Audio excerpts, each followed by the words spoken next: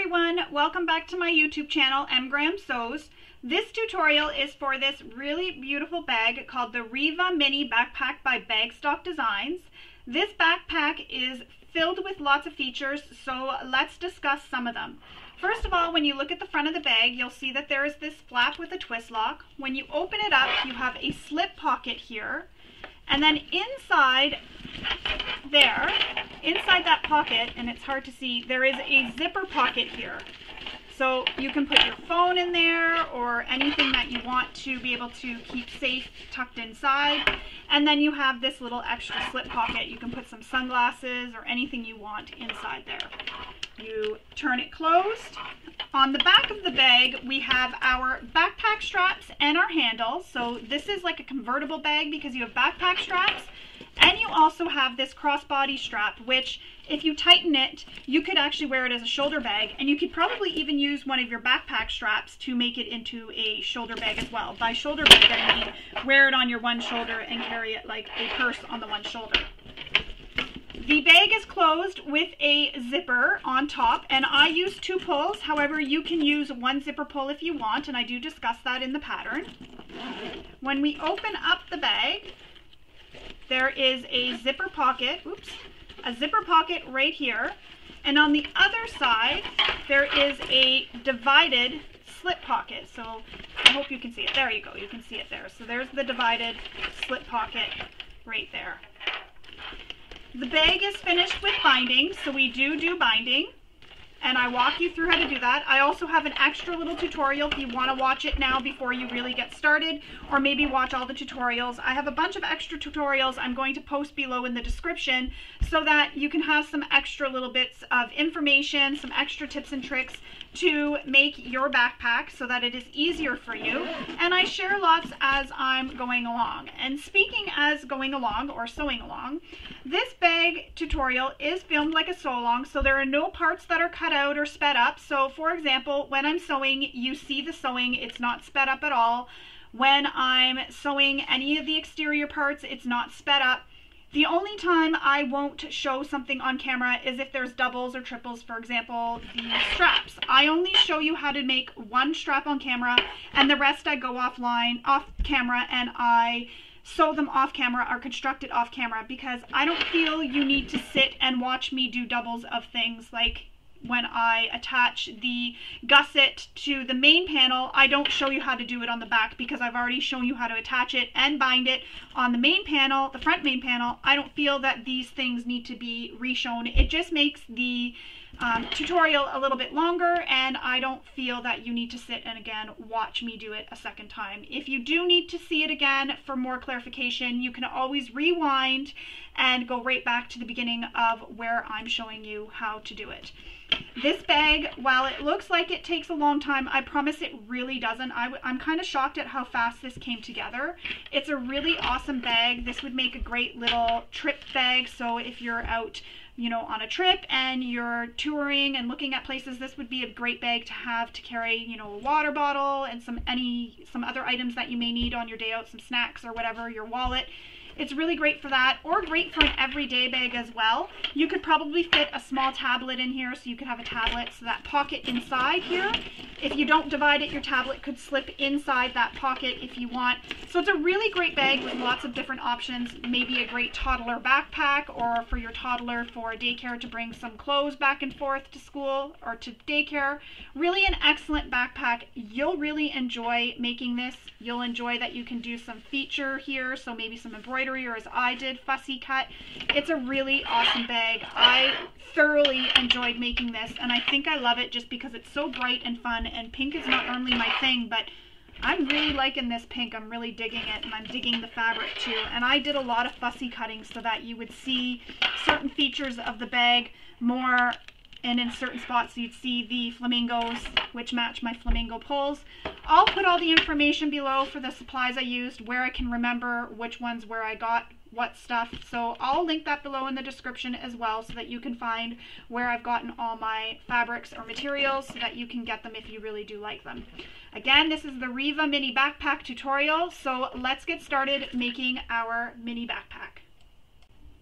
So the very first thing you'll want to do is read through the entire pattern. This is very important because oftentimes designers give information regarding different interfacings you can use depending on the materials that you've chosen to make your bag out of.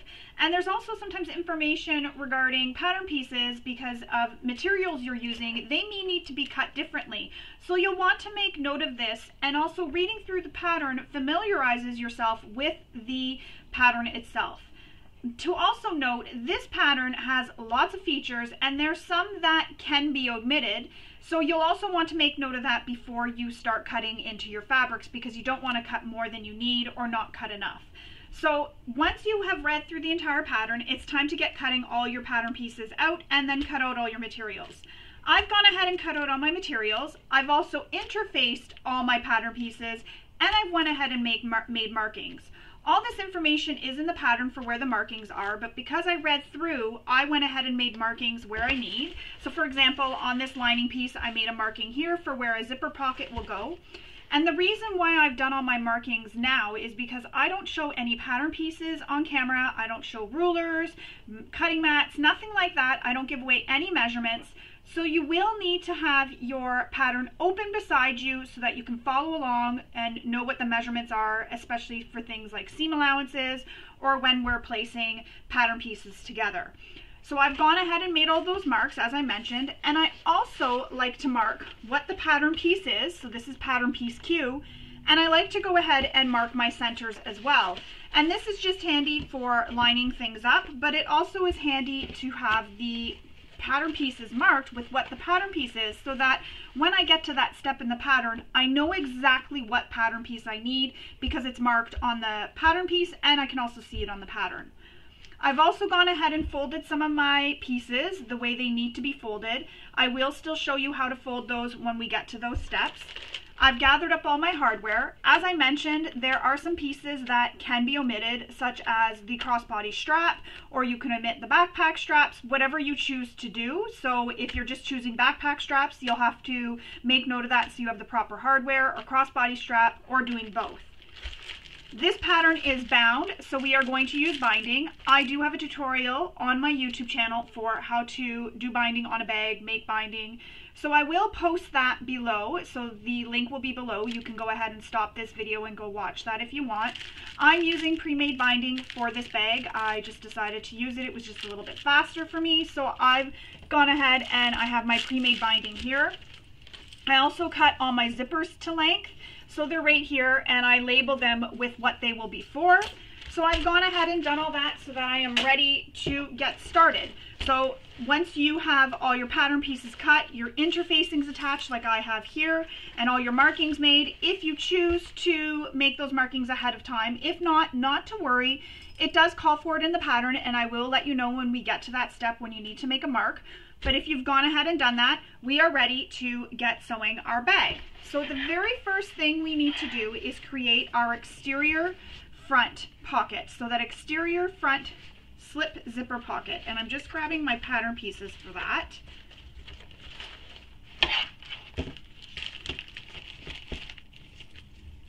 And we need our front zipper. So I like to clip all my zippers together just so I don't lose anything when I'm moving everything around.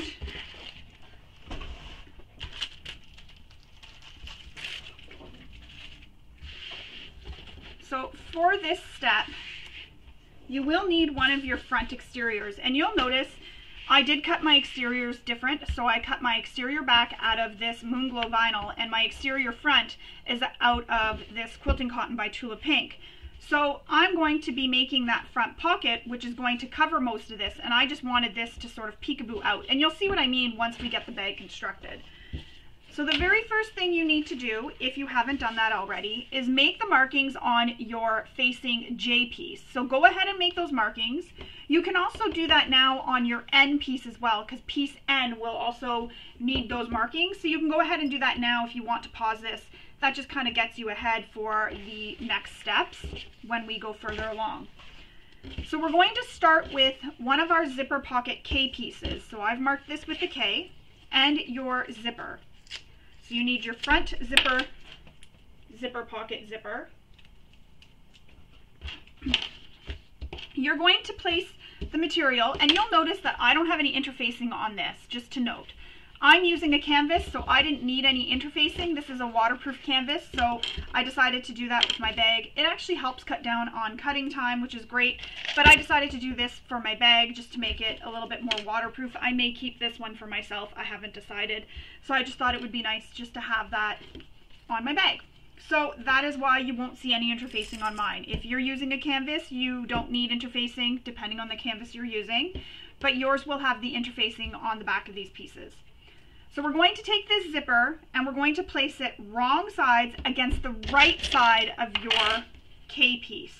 So the wrong side of the zipper is touching the pretty side of the K piece.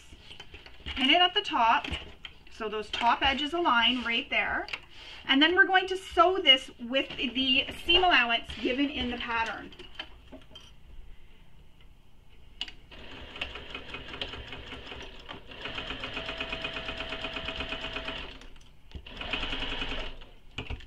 When you get to that zipper pull, just zip it out of the way so that you don't hit it. And also so that you don't have your zipper foot kind of make a little lump.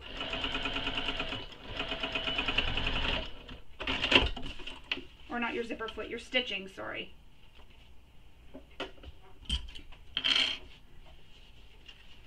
We're just going to press this top edge. So I'm just going to press this so that the zipper pocket K piece is pushed away from the zipper. And I'm trying to do this around Buddy. So just like that. So now the zipper is pushed away from the zipper pocket K piece. With your second zipper pocket K piece, you're going to place that one right sides up. And for these pieces, I marked where the top and bottom was, so I would know where the top and bottom is, or just top, sorry, I put a T for top just to help me when I am putting this together because these K pieces are so almost similar in size, so I didn't want to get confused when I was sewing this all together. So again, wrong side of the zipper against the right side of K. I'm just going to take that, buddy. You're going to sew this with the seam allowance given in the pattern.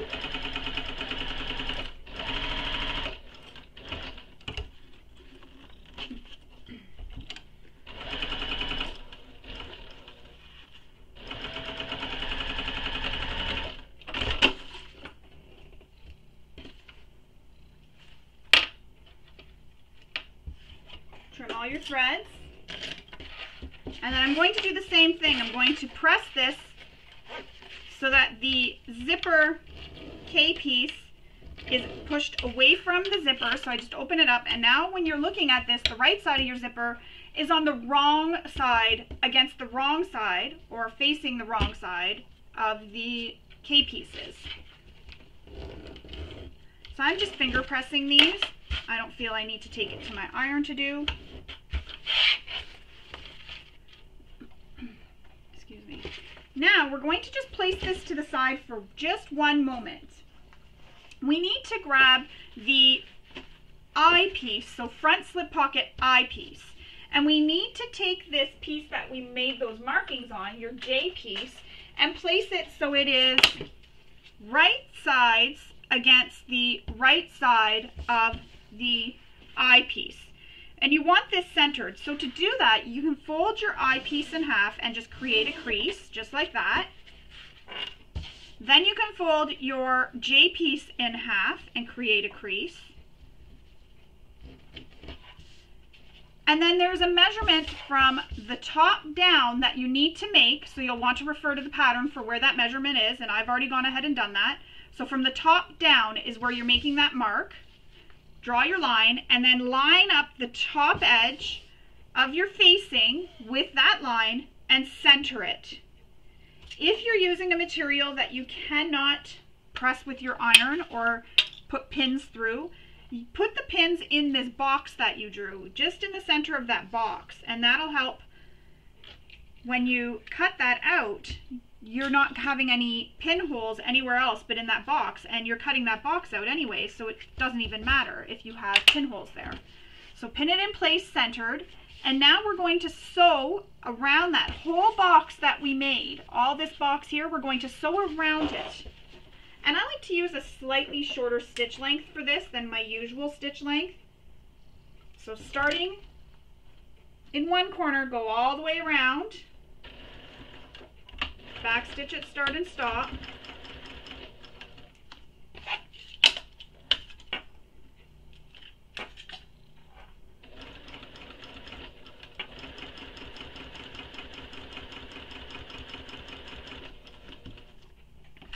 If you do have pins, be careful not to hit them.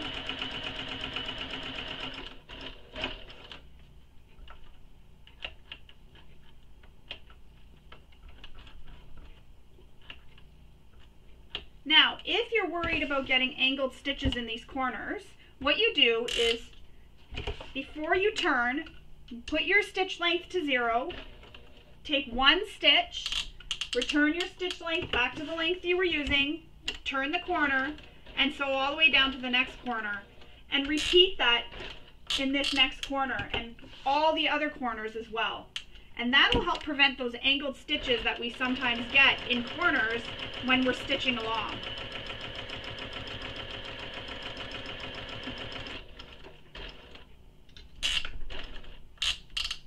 And I started right up at this corner up here, so I'm not going to turn the corner. I'm just going to back stitch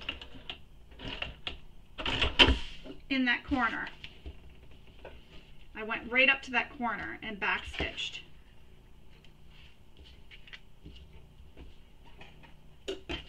So there you have it. Now you're going to have drawn some V's in these corners. So we're going to start with our seam ripper along the center line you've drawn. And I know I didn't draw the lines. I don't anymore. I just cut in the center.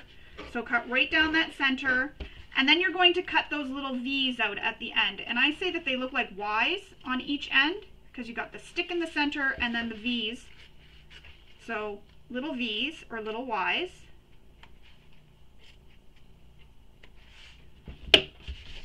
So there's one. You can see it there. I just can't see because Buddy's in the way here. Sorry, Buddy. So there's one, and then there's the other. So they're both cut on both sides. We have those little V's, or Y's as I like to call them, cut in the corners. Now we need to take this zipper pocket facing and we need to push it through to the wrong side. And we're going to need to press this with our iron. If you're using a material that cannot be pressed with your iron, you can use some double-sided tape to help hold it in place. So I'm going to push this through to the wrong side. And because I'm using this waterproof canvas, it's not behaving like quilting cotton would. Yeah, shake a paw. Good girl. Good girl. Give me five.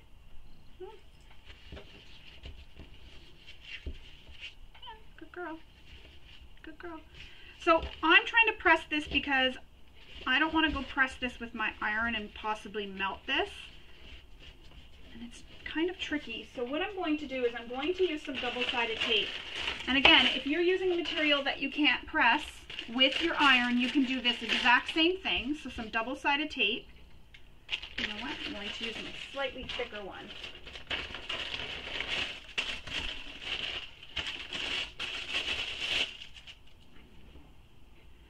So what I'm going to do is I'm going to roll this with my fingers and press it as good as I can. Yes, thank you. Watch out. Watch out, watch out, watch out, watch out.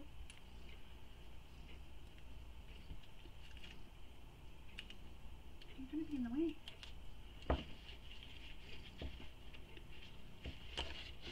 So I'm putting the double-sided tape, yes, thank you, just under that stitching line.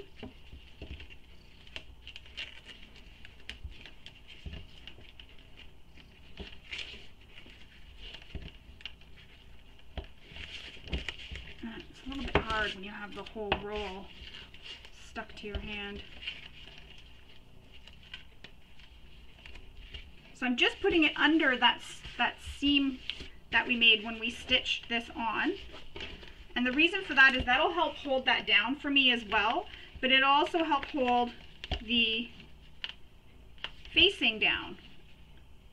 So that little extra seam allowance the bulk there is all held in place. So see how nice that looks on that side? You're trying to play with those, eh? So I'm going to repeat that for the second side, and I'm going to basically just double side tape this all the way down. And if you were doing this with your iron, you would just press it, so pull it so it is wrong sides together. Press it with your iron. You can even use a bit of spritz on it or steam, and that'll help press those really good for you. You'll get nice crisp pressed edges.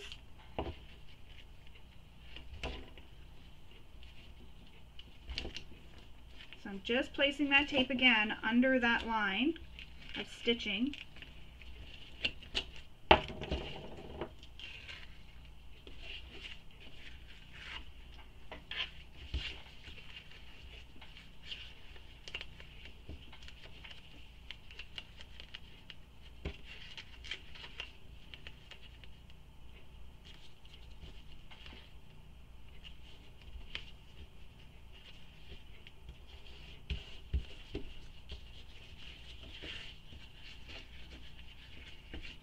And the nice thing about the double-sided tape is if it's a little bit wonky anywhere, you can just pull it back and fix it.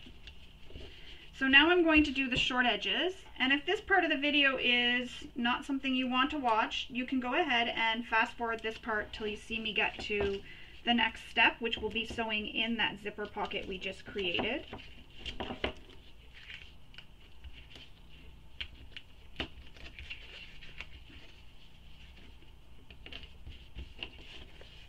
Make sure on the other side there's no wrinkles or anything. What are you looking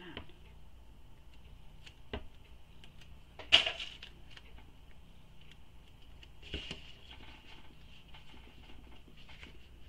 And you may have a different method to do this for if you're using something that you can't press with an iron. Go ahead and use that method. This is just what I do when I have things that I can't press with my iron. So now the pocket is all pressed through. We now need some more double-sided tape because we're now going to put the pocket into the center of this opening. So with your pocket, with the zipper facing right sides up and your pocket K pieces are facing wrong sides up, you're going to center that zipper in your zipper opening. So it's going to go wrong sides against the right side of the zipper and you can center it and you'll know it's centered because your facing is the same length as your zipper or your zipper pockets. No, that's not for Buddy. That's not for you. No, that's not for you.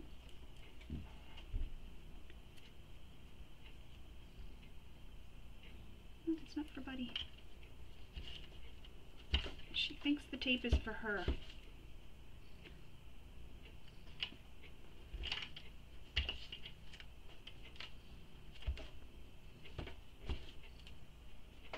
No, that's not yours.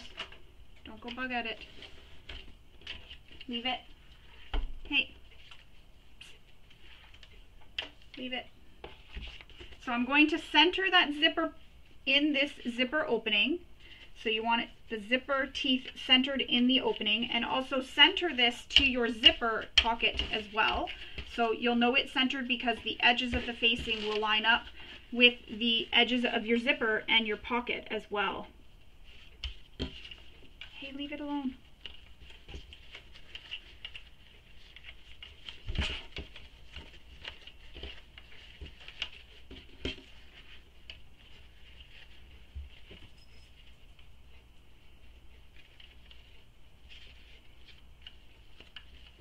I'm just trying to get this all centered.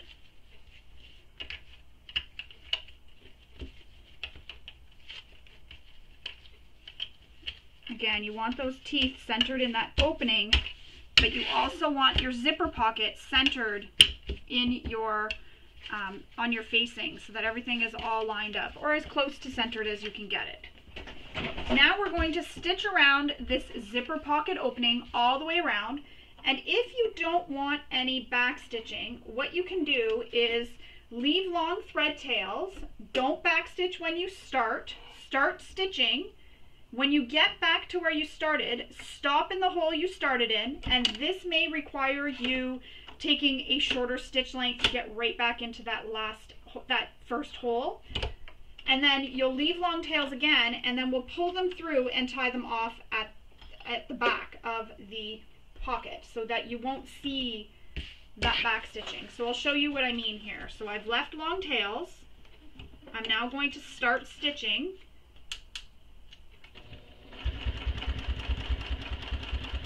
And I'm approaching where my zipper pull is, so I'm just zipping it out of the way.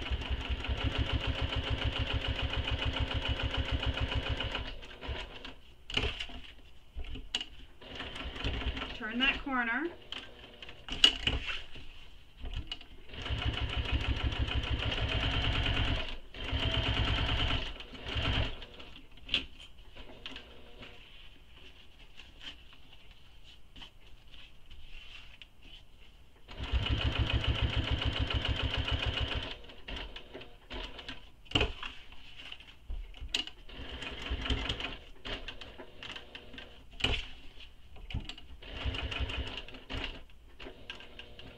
Now I'm back in that hole I started in. I'm leaving long tails, and now I'm going to pull those thread tails through to the back. And to do that, you just pull on the one back thread, and that will bring a loop from the front thread up and through.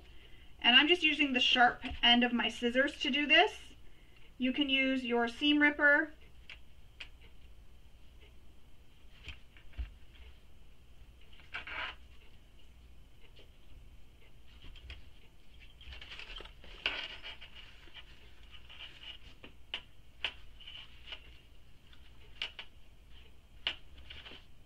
Just trying to find out what thread this is.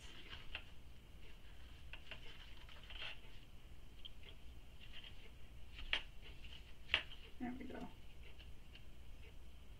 It's hard to sometimes get threads to want to cooperate.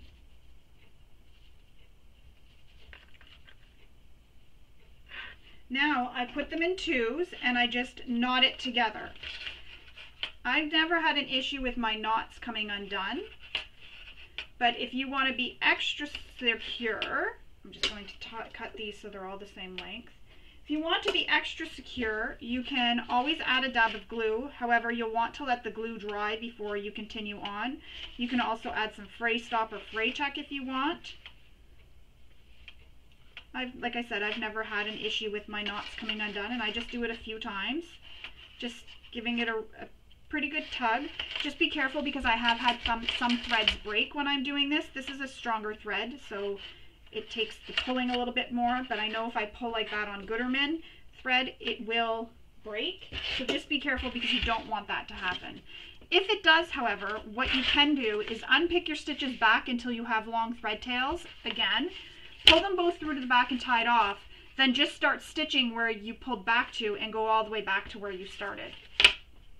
Now, when you flip this over, you'll notice that one of the pockets is longer than the other, and that's okay. What we're going to do is we're going to trim that excess off. So place them so that they are folded together. So they are going to be right sides together right now.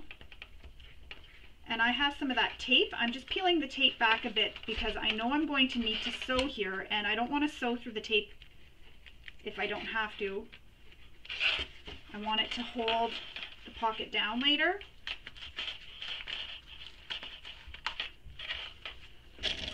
So I'm just lining up these side edges so that I can trim this down. right here. Start at the bottom. Line up your side edges and then you're going to just trim that off. And you can measure that and take this over to your cutting mat and use your rotary cutter and ruler to cut it, or just like I did, just follow along with it pinned together and cut it off. Now we're going to sew the side edges and I just want to see if we're sewing the bottom. So we're sewing all the way around. We're sewing the sides and the bottom using the seam allowance given in the pattern. So move your lining out of the way. You don't want to sew through that lining piece, just through the pockets.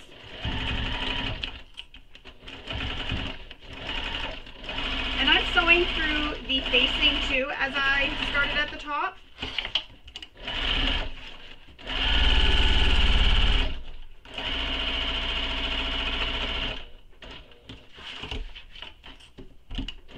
And when I'm in corners, I like to backstitch just for some extra security in those corners. Not so much important when you're sewing up a pocket. Um, I like to make sure I do that when I'm stitching somewhere that I'm going to be turning right sides out after. But in pockets, it does add that little bit of strength down at the corners. And there we have it. Our zipper pocket is now attached. You see the wrong side and the right side. We have it all attached. I'm just going to check my bobbin because it was almost empty when I put it in and I just don't want to run out at the, I guess no time is really the right time. But at the wrong time while I'm doing some top stitching. I do have another one ready to go. Now we're going to put this one to the side. We need to grab out the B piece, your C and D piece. So B and C and D look like these. They are mirrored pieces and you'll have B that looks like this.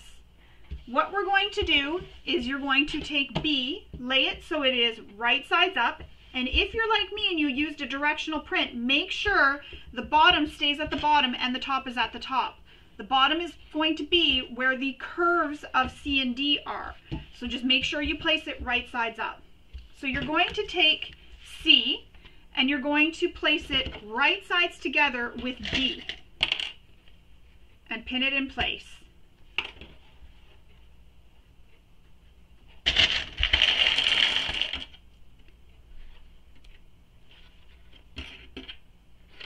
So pin it all the way down that short, that straight edge. I didn't mean to say short, sorry.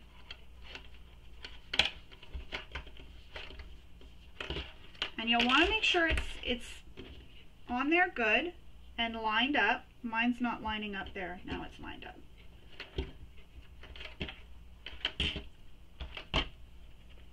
Just gonna take a drink of my coffee, excuse me. All right, now we're going to sew this edge, this straight edge that we pinned, with the seam allowance given in the pattern.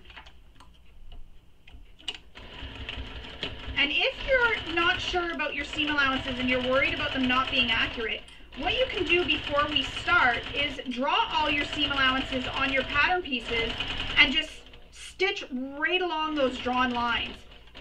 Back when I started sewing, I used to do that all the time so that I could make sure I had accurate seam allowances all the time until I learnt where it was on my machine and then I started measuring and using washi tape to make my measurements for where um, seam allowances are. But that's just a little trick I use. So you would draw your seam allowance and just st stitch directly on top of it. And it really does help and it really will be a game changer if you're not always able to keep accurate seam allowances. It's really a game changer and it does really help.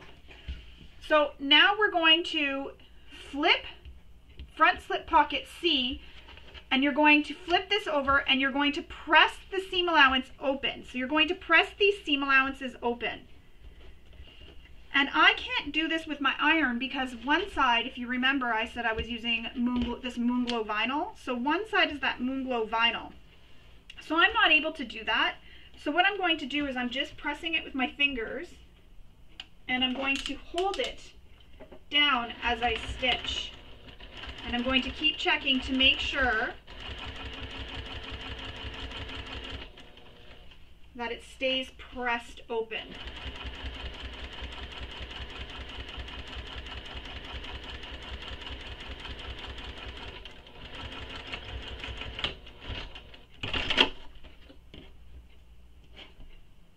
Cut all your threads. You don't want peekaboo threads later.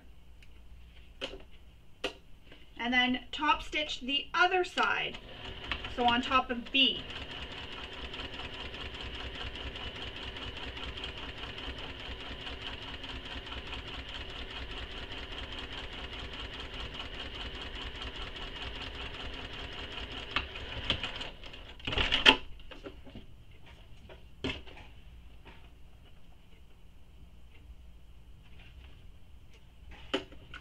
return your stitch length back to your length you use for stitching a bag together. And that's how that looks so far. Now we need to attach D to the other side of B. So the exact same thing. Take D, place it pretty sides together with B. Pin it all the way on the short edge.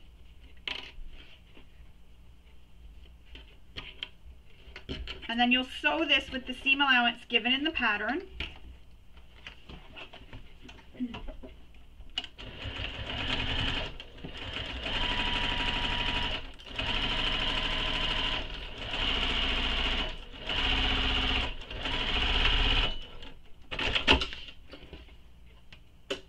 Press that seam open and top stitch on both sides of those seams. So the same thing we did previously. So make sure that seam is pressed open.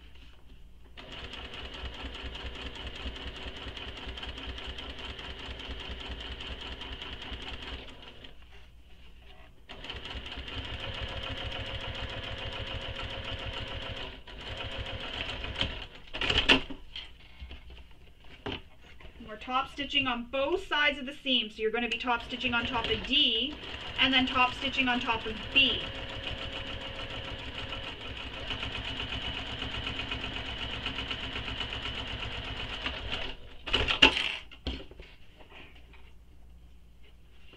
And whatever your favorite stitch length is for top stitching, you'll want to use that. And I'm just going to trim my bottom. It looks like it's stretched a little bit. Might have just been the cutter, not the vinyl.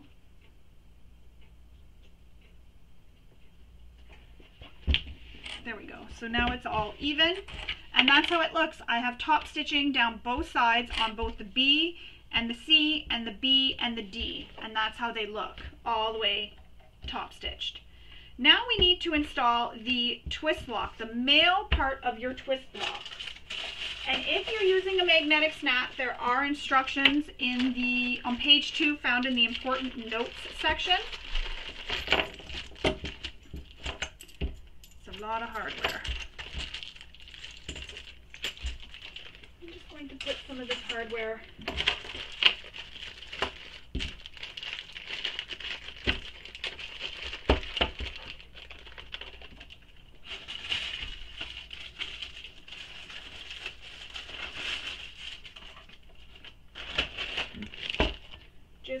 to put the hardware so I don't lose it and so that Buddy doesn't play with it when she comes back. Alright, so we're going to install the male half of the twist lock. And you'll want to follow your manufacturer's instructions for how to, how to install this.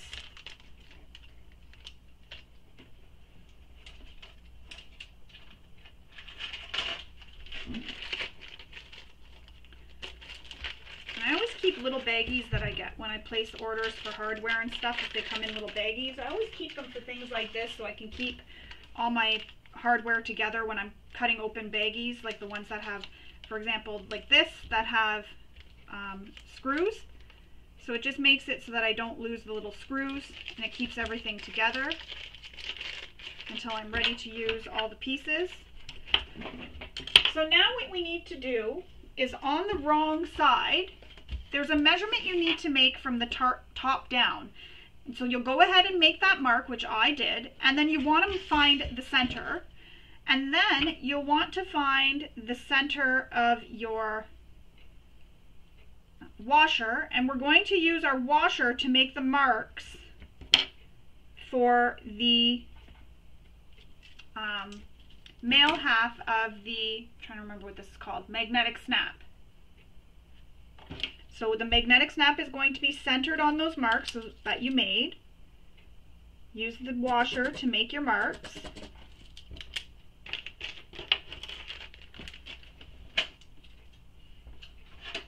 Get your seam ripper. And again, if your if your um, wash or magnetic, uh, not magnetic snap, oh my gosh, Twist lock is installed different and it's a different twist lock. Use your manufacturer's instructions to install it. Usually I use magnetic snaps, not twist locks, but I decided that I was going to use one for this tutorial and for this bag. So I've made all, I've cut all my slits. Now I want to apply some fray stop, or if you have fray check, on those slits that I made, and that just helps prevent that from fraying any further foot slipping on my bins underneath. So I'm going to push the prongs through those slits. Then I'm going to put the piece of interfacing I cut through the prongs. And then I'm going to put my washer on. And I'm going to then press the prongs down. And I just like to use this pair of pliers. These are just from the dollar store, so nothing super fancy or expensive. They're just small enough that I can use them. And I just press it in place. Then I'm going to apply a piece of tape over those prongs.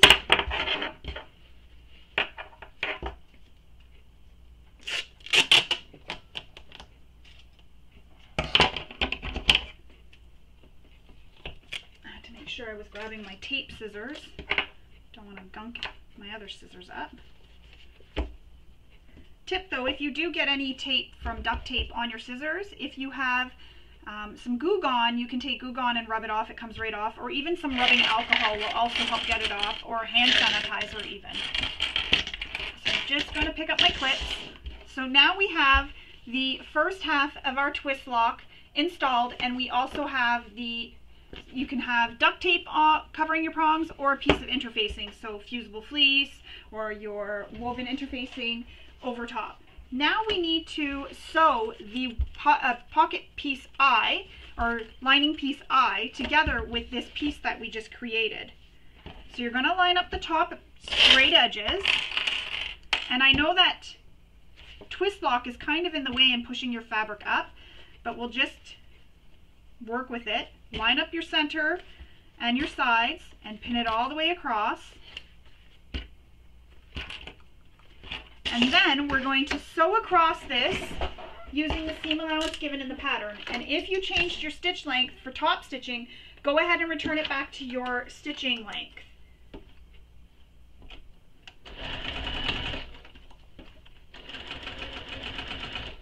And I know that that magnetic, or the twist lock piece, the male half, is in the way. So you will sort of have to maneuver it by your presser foot a little bit. You can use a zipper foot, and that'll help keep your presser foot out of the way if you're finding that it's not got a lot of space there. I had it with my regular presser foot, it was fine. And my thread ran out. That's okay, I have another one loaded. Prepared. Except for this one doesn't want to come out. There we go. Oops.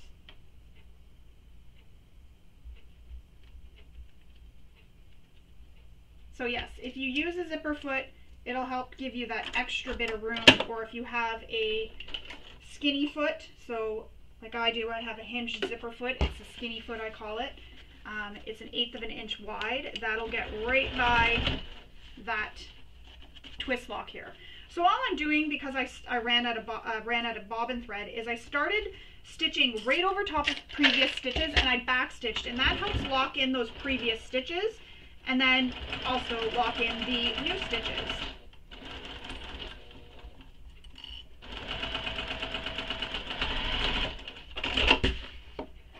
And I'm going to cut the threads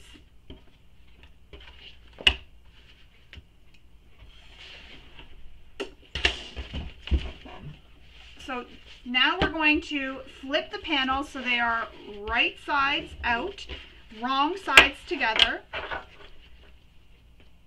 And again, I can't press mine because I used a vinyl and this waterproof canvas. So I'm going to add some double-sided tape here to this edge to help hold that edge down for me.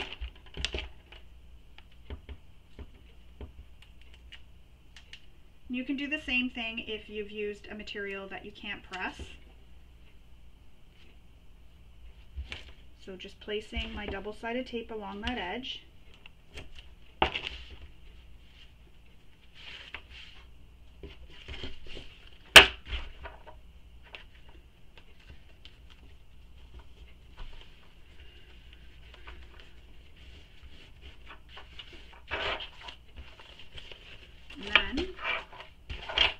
place some double-sided tape along the edge here to press that side open.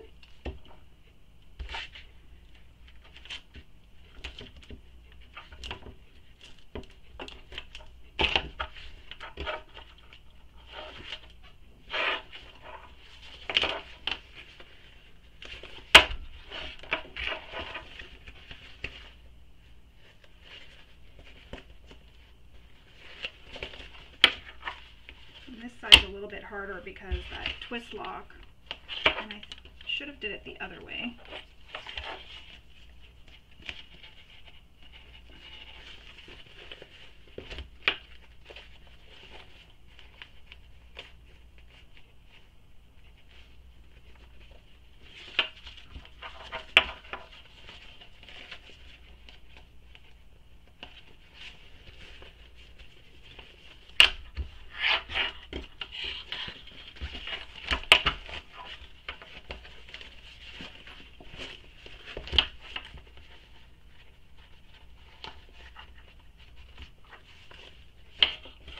There we go. So now what we're going to do, sorry about that, that took a little bit longer than I wanted. We're going to pin the sides and the bottoms together. So now that I have that pressed, that's just like I pressed it using that double-sided tape. Make sure your pocket is also facing down. You don't want that to be flipped up. So pin along the side edges. And we're going to baste this in place around the sides and bottom edges.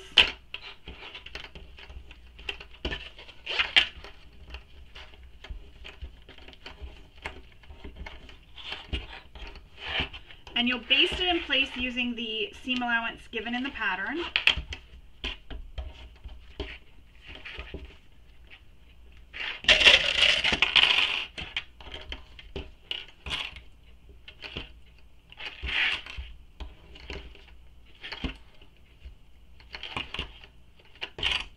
So now we're going to sew the sides and bottom using that seam allowance given in the pattern and that'll help hold this in place while we sew.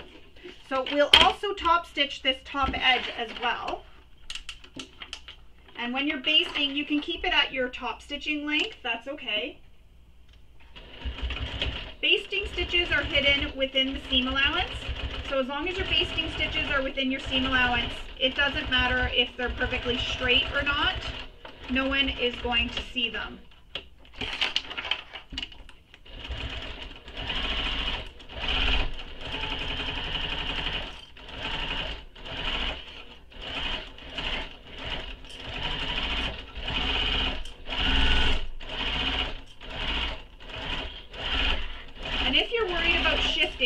what you can do is start at the bottom in the center.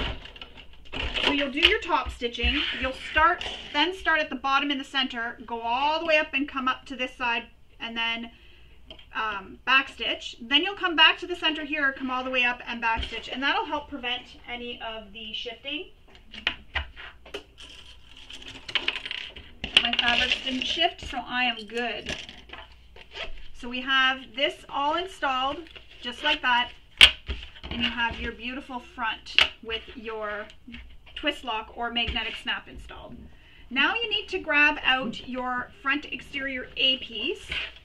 And we're going to place this piece we just completed with it so that it is lining sides against the right side of A. And if you can still see your center marks, first line up your centers, which I can right here. Line up your centers.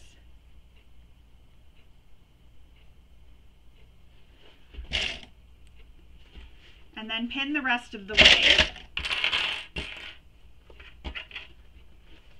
all the way around.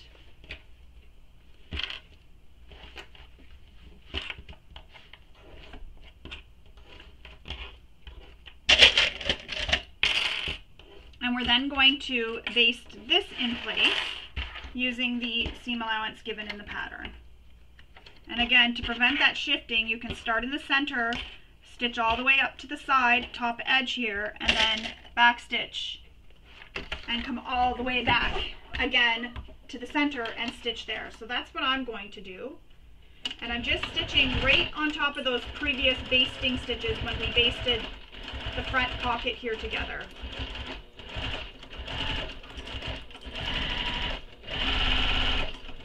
And that is prevent any shifting on it.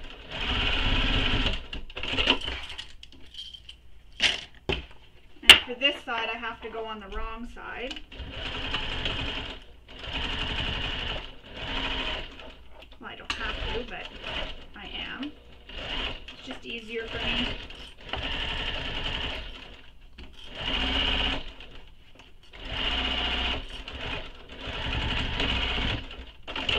There we go.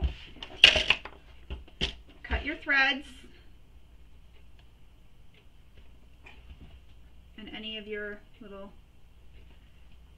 edges that are fraying.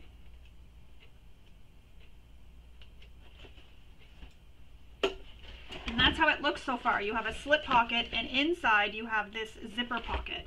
So that's handy for putting your phone in. It'll be extra safe in there. So there it is. We're going to place this to the side for now. And we're going to move on to making our front pocket flap. So here is the flap pieces. You should have two. Now mine are the same. I did it in both the vinyl, but you may have one that's your exterior or contrast and one that's your lining. So my exterior piece has the interfacing on it. And I've already made my marks for my magnetic snap or my twist lock. I will go back and look and make sure when we finish constructing this that that is still in the accurate position. So here it is now. If you're installing a magnetic snap, you'll want to follow the instructions that are given for placement of magnetic snap now. Now we're going to take our two magnetic, our two flap E pieces and we're going to place them right sides together.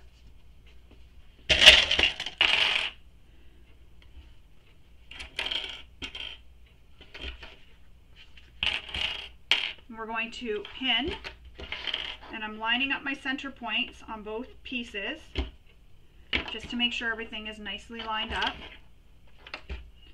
We're going to pin and we're going to sew around the sides and the curved edge. We're not sewing along this top straight edge here, just the curved, the sides and this curved bottom edge. Return your stitch length back to the length you used for stitching. Don't forget to do that.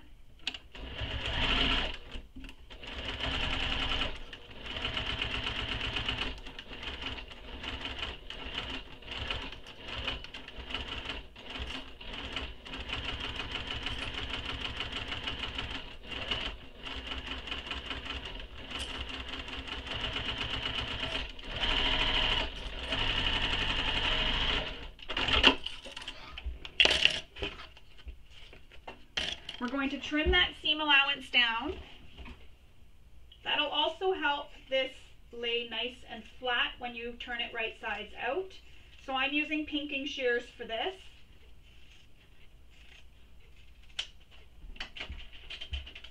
My turning tool. I'm going to turn this right sides out. And I can't press this with my iron because it's all vinyl. So I'm just going to really work with it here. However, you can go ahead and go press yours if you've used all quilting cotton. Press yours with your iron.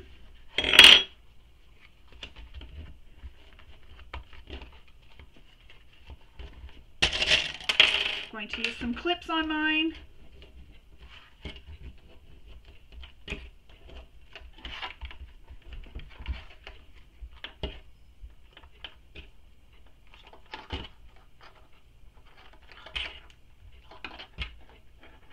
And now we're going to top stitch this all the way around. So you're going to top stitch the side edges and this top edge as well.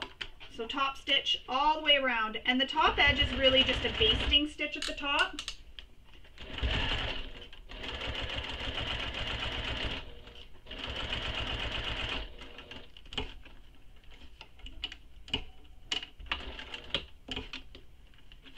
Uh, take a shorter stitch length.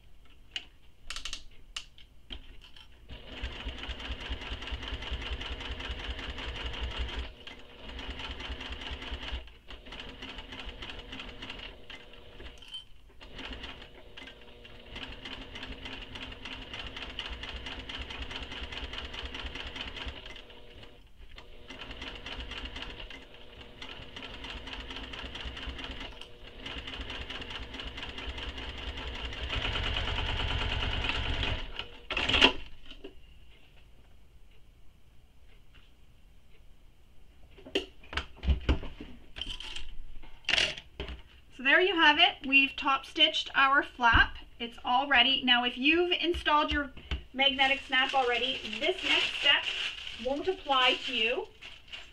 I need to install the final half of my twist lock. So what I'm going to do is do that. Use the washer to make the mark. These are my screwdrivers.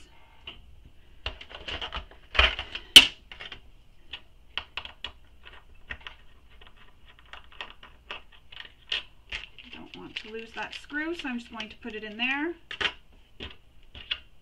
We're going to use this washer to make the line, or to make the mark for where this is going to be placed, and then cut it out.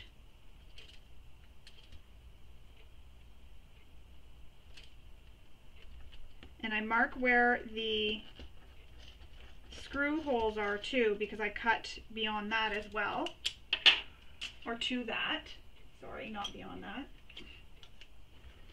So with my seam ripper, and this is where you want to be really careful and don't rush this part because you don't want to have any raw edges showing that when the bag is finished. For the flap, sorry.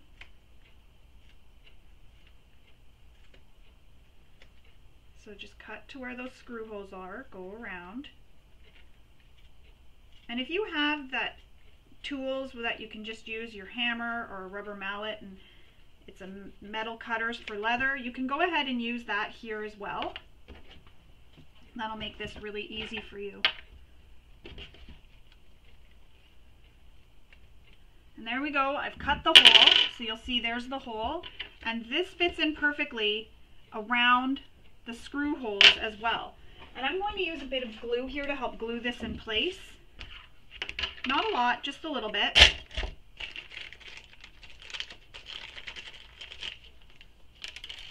There's one screw.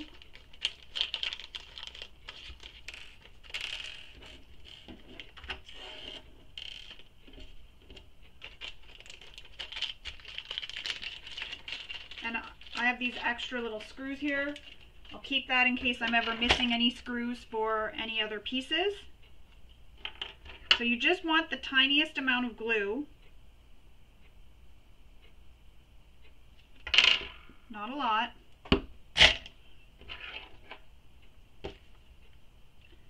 Make sure your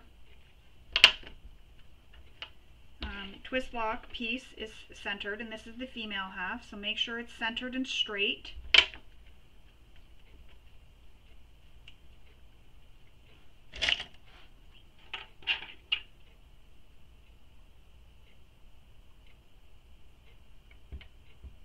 Put some in the screw holes as well, and that'll help with extra security to make sure that the screws, if they come out, I need to trim that a little bit more.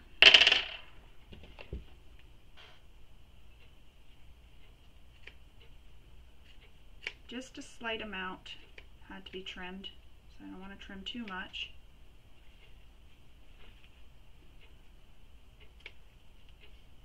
just a sliver.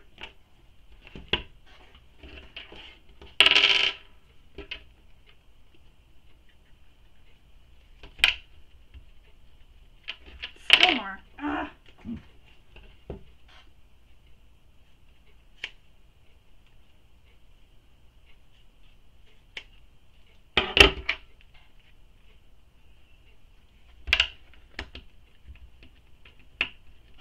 There we go. Okay. And that glue dried on the back here. So I'm going to put it back on.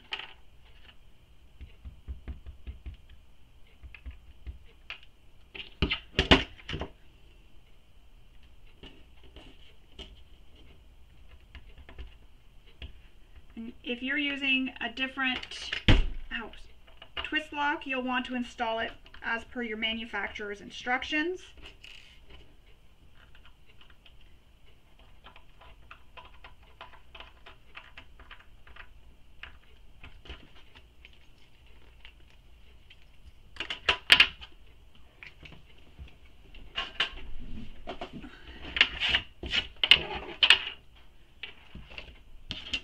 And if you're wondering where I got this little screwdriver set, my husband picked it up for me at the dollar store. It's very handy because all the different sizes of screws that you'll need with different hardware. So it's really handy because you have all the different sizes of screws that screwdrivers that you'll need and there's all sorts of sizes and the different like there's the Phillips and the Star. So for the flathead I mean, sorry.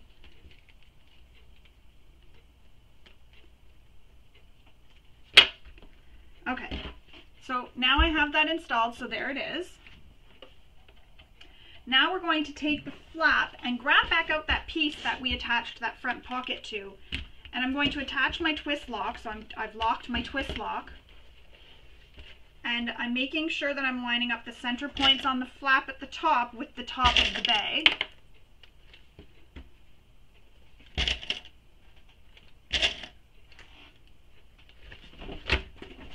And that makes sure that my flap stays centered and also so that I have it so that it is right sides up.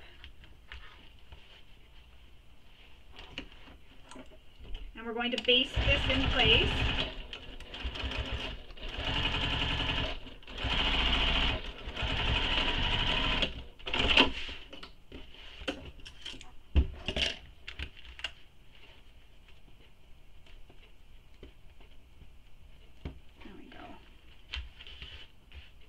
There you have it. That is your front all complete. So remember I was saying I used the vinyl for my back of my bag, and for this one I used that quilting cotton. That's so it peeks out on the sides here. I thought it would look really pretty with the sides. And I also fussy cut this panel B so that the flamingos would be seen in the center. So place that panel to the side for now. We are done with it for now. Now we're going to work on our exterior back. And for this, we're going to start with piece F and I'm just to see, so this is this piece. So piece F is your back strip. So your piece will look like this right now. What you're going to do is draw a line down the entire length of the center, so in the center along the whole length. Once you have that done, you'll press the long edges in to meet that center line. If you're using material that you can't press with your iron, use some double-sided tape to help hold it in place. And this will be finished and there is a measurement given in the pattern for what the finished width of this will be. So once you have that pressed, put that to the side. We'll then work on our connector G pieces. And the connector G pieces are folded the exact same way we folded that F piece. So draw a line down the center, fold your long edges into the center to meet in the center, and press. I did use a bit of spray, so I have a spray bottle and I just spritz it a little bit, and that really helps press these so they're nice and crisp. So I did that. Now we're going to top stitch along the entire length of all three of these G pieces.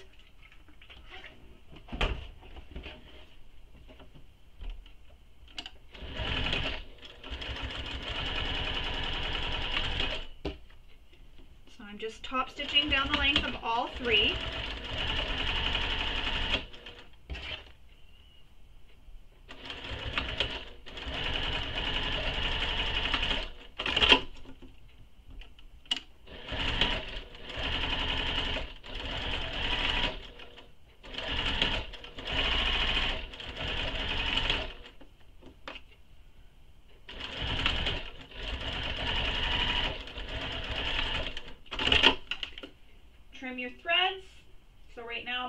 is just one big chain.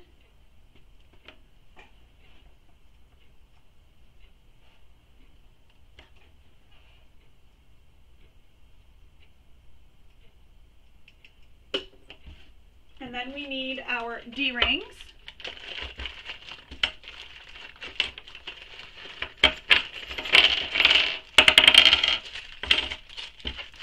And because I'm making the backpack,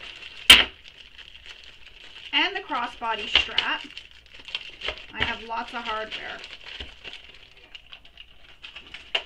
So we're also going to be doing this for the connector R pieces as well. We're going to be top stitching those and adding the hardware, but I'm going to keep them connected together so I don't get confused.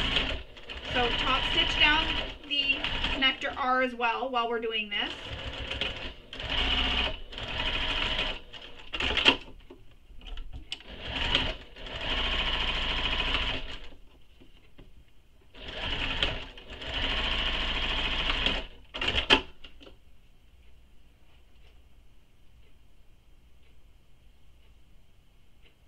trimming all my threads.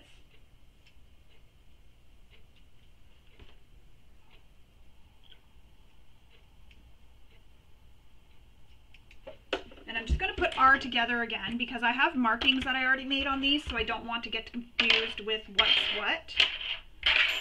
So now we have to take the D-ring and we have to slide the connector G onto it, fold the connector G in half,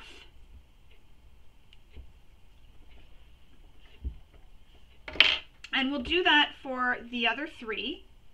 I was just checking to make sure it wasn't being folded a different way. Sometimes they are. And make sure the wrong sides of your connector, so where those seams are, are in the middle. Now we're going to switch to a zipper foot because we need to sew as close as we can to the hardware. So I'm just switching out to my zipper foot. I'll put back on my Teflon foot after. And now we're going to sew as close to the hardware as we can. So I like to start with my zipper, my uh, presser foot down and my needle down. Don't forget to backstitch.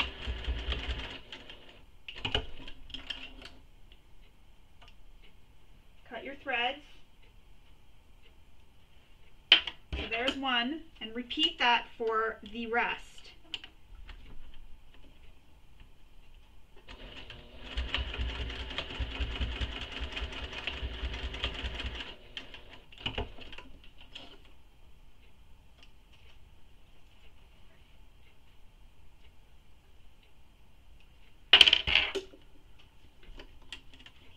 Then I'm going to repeat this too for the other connectors there.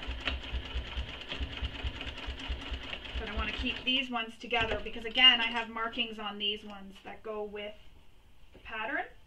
So I want to keep these three together. And also these are different lengths too, so you got to make sure you pay attention as you're doing this so you don't mix up the lengths. Same thing, attach the hardware, fold it in so the seams are in the center touching. You won't see those. If you're worried about that fraying, you can always add some fray stop along the edge.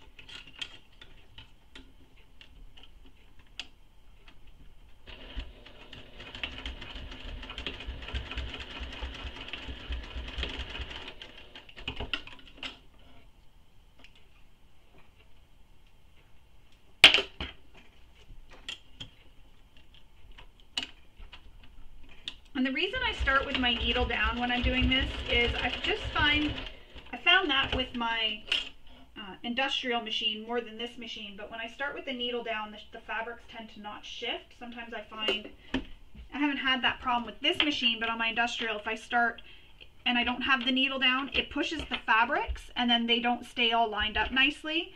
So I just do that now on this. So I'm going to put connectors R off to the side for now because we just need to continue working with the back connectors for now. So we're going to put the back connectors just to the side for the moment. I'm going to switch back to my foot, my Teflon foot, which is my same as my regular foot. And now we need the handle. And if you're not making the handle, you'll skip this step and I just want to make sure I do have the right piece. Yes. So handle is H, so you'll have a piece that will look like this. You'll do the same thing we did with F and the connectors. You'll make a mark down the center.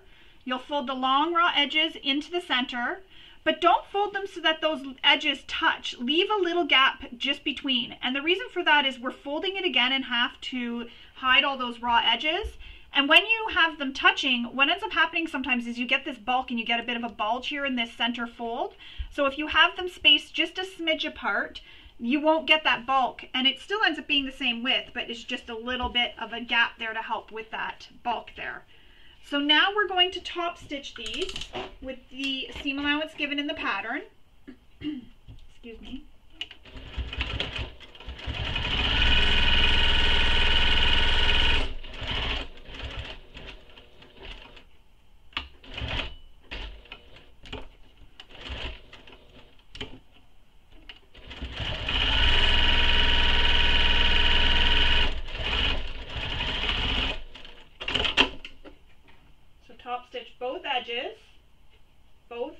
edges.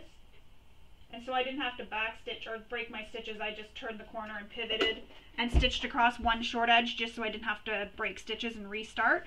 So there it is. We've top stitched both edges. And if you're finding your handles twisting, you can always just untwist it because the interfacing inside helps that or press it with your iron. Now we're going to attach the back connectors and the handle. So you need your back pattern piece and those G connectors the handle, and F. So I've gone ahead and made some marks. You may be looking and thinking you have some marks. Yes, I do. So the first mark that you need to make is from the bottom up, and that is where you're going to place the first connector. So it goes from the bottom up at that line, and you're going to place it so it is centered on your panel. And you can use a little bit of double-sided tape here to help hold it in place. So that's what I'm going to do. I'm going to baste the ends here so they don't shift on me.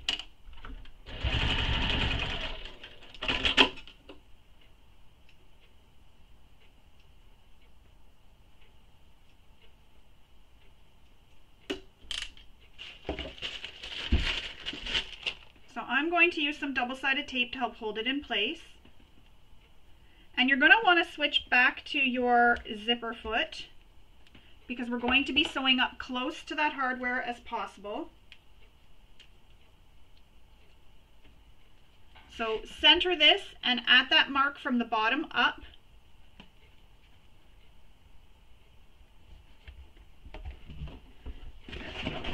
zipper foot, put that on.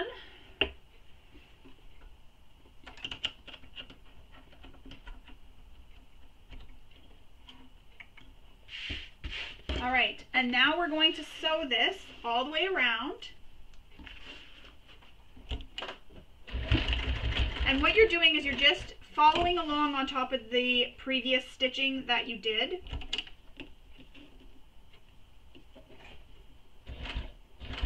On top of your previous top stitching.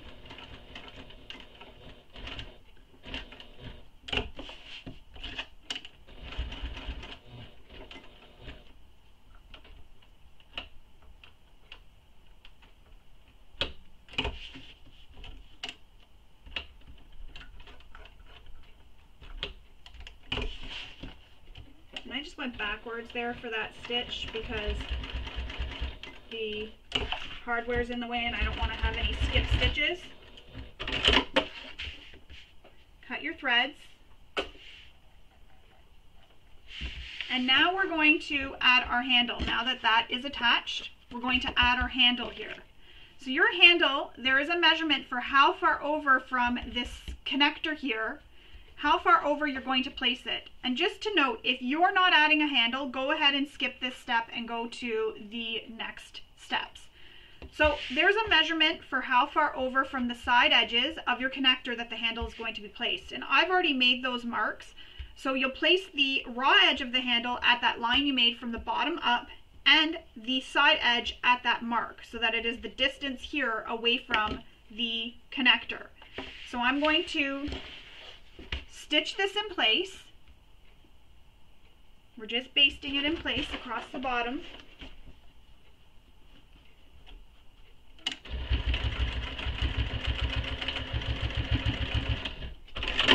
So there's one, and making sure your handle's not twisted. So right now that's how it looks, flat. Bring it down and around and line it up with that next mark that you made so it'll look like that. And again, just make sure it's not twisted.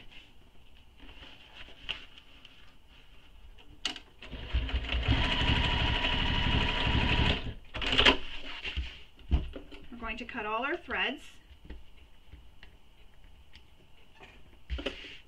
And that's how it's looking so far. I love it. I love the colors together. Now there's another mark you need to make from the bottom up. So from the bottom of your panel up to here. And that's where this bottom edge of your uh, back strip is going to line up. So the bottom edge of the back strip is going to line up with that line you made. And that covers all the raw edges. You can use some double-sided tape here, which I will, to help hold this back strip in place.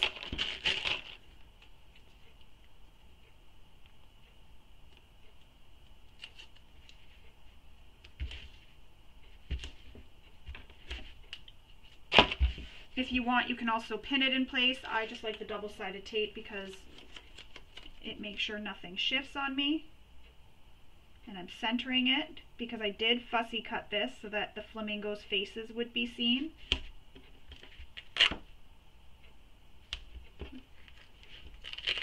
I fussy cut as much as I could for this bag.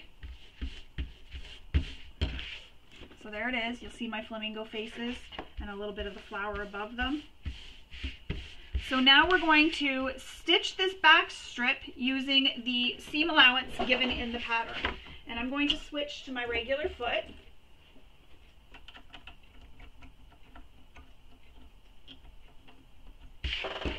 Stitch around. So I'm going to start on the side edge here so I can have back stitching where you're not going to see it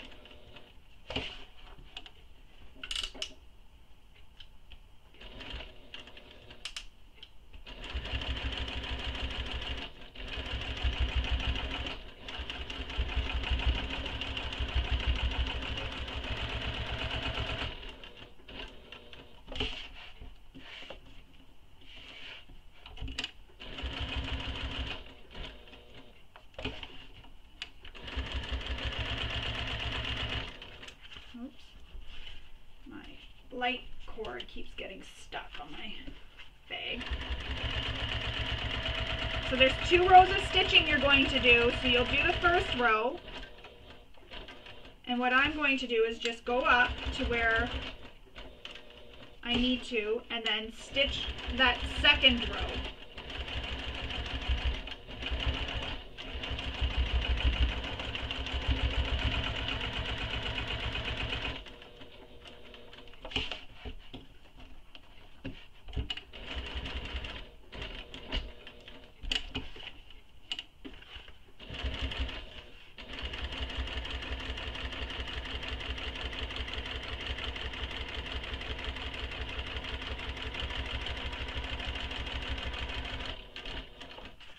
back where I started on the side, back stitch.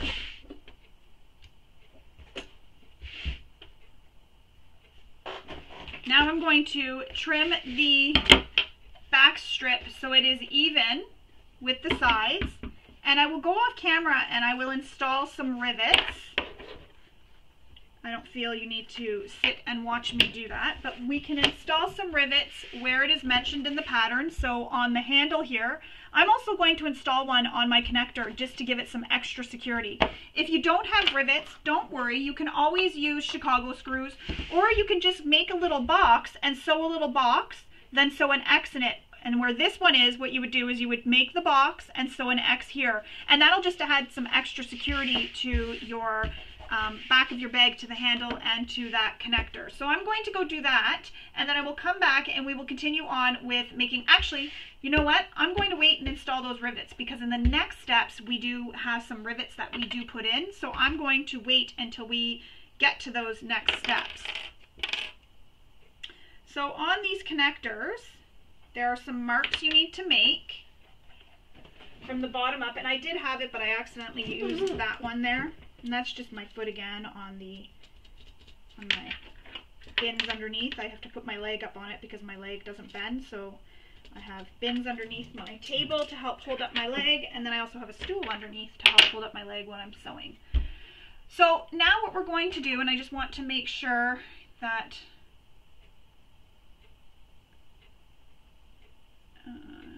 okay, so I just want to make sure that I was giving you the right instructions. So you have to make a mark from the bottom up, and I've gone ahead and made that mark.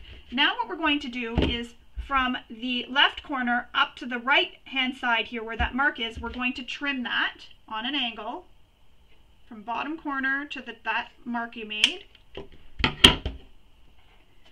And now you want to repeat that, but you want to have that on the opposite side. So it's going to be mirrored now. So you'll have two that will look like this. So one and two. So now what you need to do is we need to place these on the back of the panel at the bottom. And there's a mark you need to make from the bottom up. So I've gone ahead and done that. I've made my marks. I'm not sure if you can yeah you can see those. I've made my marks already. So you'll want to refer to the pattern for that measurement. So we're going to place these at that mark and I'm just going to draw that line a little bit more actually I can see it and what you're doing is you're lining it up with that mark and with the side edge. So there's the mark here and my side edge. And that's what you're doing. And it's going on that angle that you cut. And that's why we cut it at the angle because it'll all line up with your side edges just like that. So we're going to base this in place on the side edges.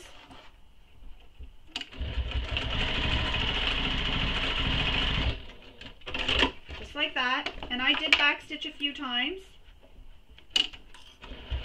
And I will note, when we do the bag binding, this is where you'll want to be cautious of what materials you're using for this step because it can add a lot of bulk. And when you're doing that binding there is even more bulk here because you have that bulk you have your other your lining panel connected and then you're going to have this in here and your binding. So you'll want to make note of that when you are cutting out your pattern pieces. So now that I have that made we can go ahead and add our rivets to these connectors as mentioned in the pattern so I'm going to add my rivets to these two bottom connectors to my handle and to this top connector and I will come back and we will continue on with constructing our bag all right, so I've gone ahead and installed all those rivets as I mentioned I would. So on my handles, on the connectors as well.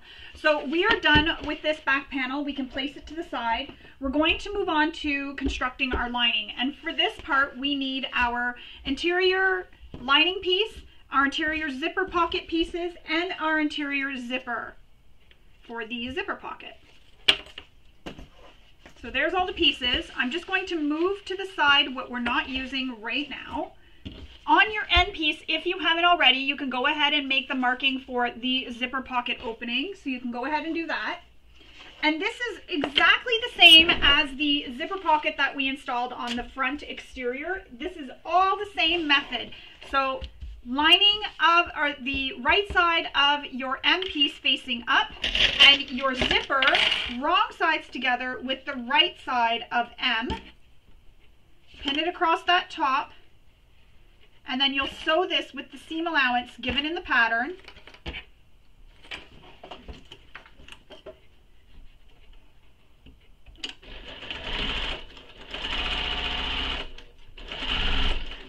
Move your zipper pull out of the way.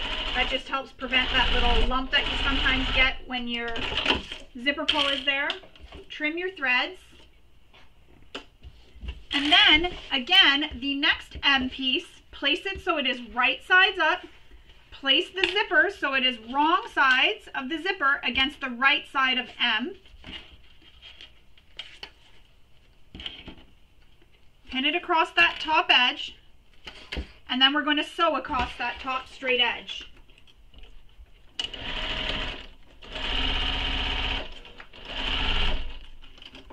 My zipper pull out of the way. Just be careful not to zip it right off the tape.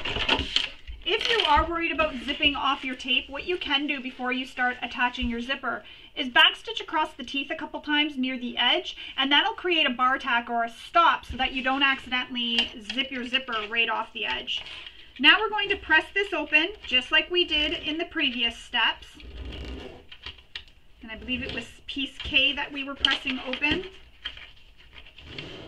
And I'm just finger pressing this because I feel that I don't want to take this to my iron and maybe accidentally burn it. Now we need to take our lining L piece and we need to place that end facing, so the facing, interior zipper pocket facing, same thing, right sides together with the L and centered. So I'm folding this in half, my N in half, and my L in half.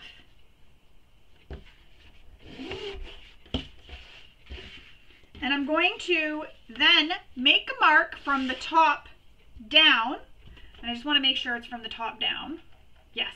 From the top down, and you're going to make a mark across the panel with the measurement given in the pattern. Once you have that mark, you'll then take N and place it right sides together with L and center it. And that's why we folded it so we can see the center creases pin it in place, and I'm pinning mine within the zipper pocket hole so that any pin marks that I have are made there where I will be cutting it out. Oh, there's two pins.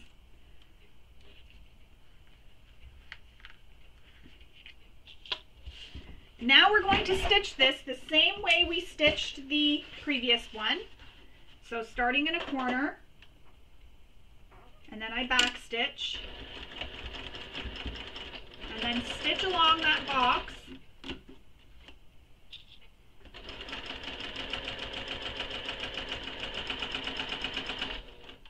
And remember, when we get to those corners, you can put your stitch length to zero, take one stitch, return your stitch length back to the length you're using, turn the corner, sew all the way down to the next corner, one stitch with the short stitch length, return it, and continue going to the next corner. And that'll just help prevent those angled stitches in the corners for you.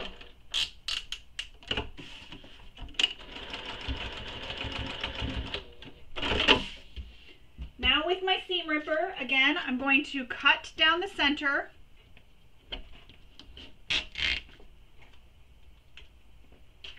Whoops. Then I'm going to use my scissors to cut the rest of the way.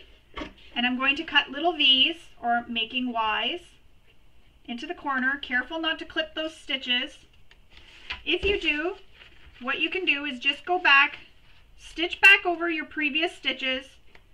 So I'll show you as soon as I'm done cutting here. You'll start, so say you, you accidentally cut this corner here. You'll start back here a bit back stitch over these previous stitches to lock them in, go all the way around, down the corner, and come back over here and back stitch here as well. And what that'll do is that'll lock in those previous stitches so they don't undo on you, but it'll also reinforce that corner again because you accidentally cut those stitches. Now we're going to push this through to the wrong side. So you had seen me do this previously on the front pushing this through to the wrong side. I'm going to do the same thing. I'm going to use some double-sided tape to push it through and hold it in place for me so that I can attach my zipper pocket here.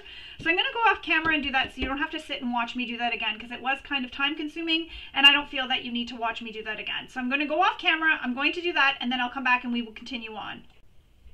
Okay, so I've pushed the pocket facing through the opening and I've used my double-sided tape to help hold it in place because when I pressed my iron with this, it doesn't really press very good. Now we're going to install the zipper pocket, so piece M, or the two M pieces, and with the zipper attached into that opening. So you're going to center the zipper, again, same way we did for the front of the bag. So I'm just using a bit of double-sided tape here, and I'm out of this double-sided tape. So I'm going to grab my other one.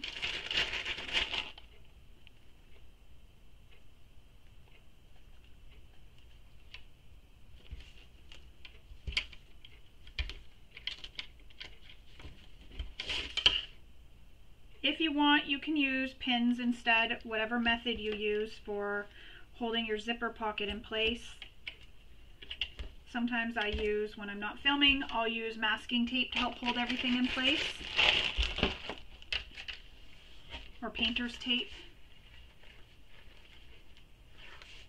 So peel back the paper backings of my zipper or double-sided tape. Center this in the hole. So you want your zipper teeth centered and you want the zipper pocket also centered on your panel.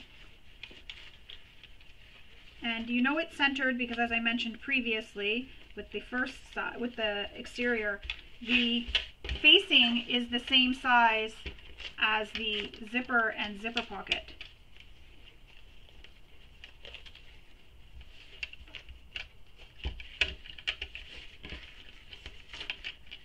Just a little bit wonky here to get it pressed.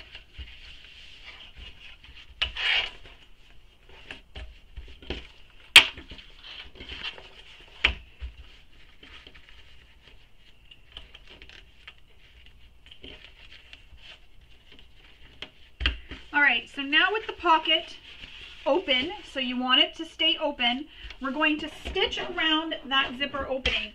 And you can do as we did before, leave long tails, start stitching, go all the way around, come back to the stitch, to the hole you started in, leave long tails and tie, pull them through to the back and tie them off. This is in the lining, so I've back stitched. I'm okay with that.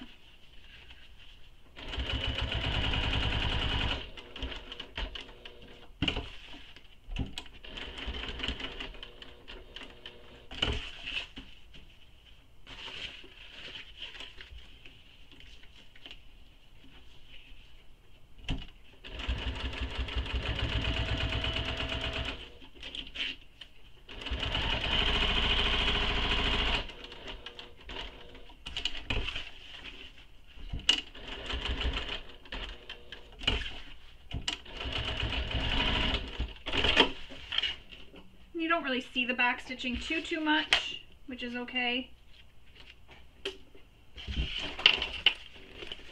And same thing we did for the front of the bag. We need to pull these down, match up the sides, and we're going to trim that bottom edge so that it is even with each other because one edge is longer than the other.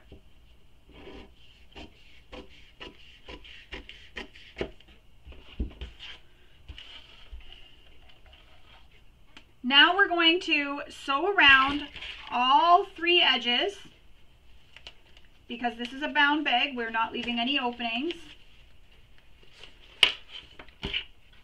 Normally you would leave an opening in a pocket or along a side seam or bottom seam.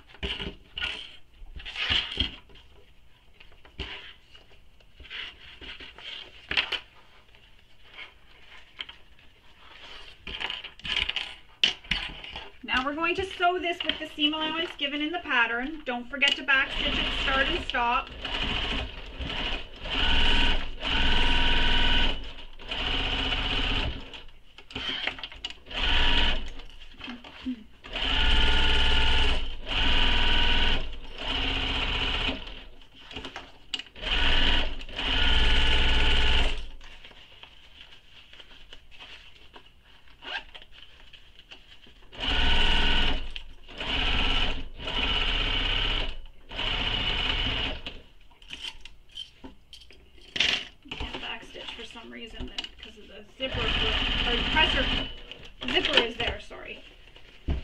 To push that down again because I did have the double-sided tape there, so that kind of helps hold it in place. And there's your lining zipper pocket all complete. We're going to place this one to the side. We're going to work on our interior slip pocket. So for that, we need these O pieces. Shoes falling off. These O pieces and another piece A. So we'll put piece A to the side for now. O pieces. They look like this. You're going to place them so they are right sides together or pretty sides touching. you're going to pin the top edge, the top straight edge, and then you'll sew it with the seam allowance given in the pattern.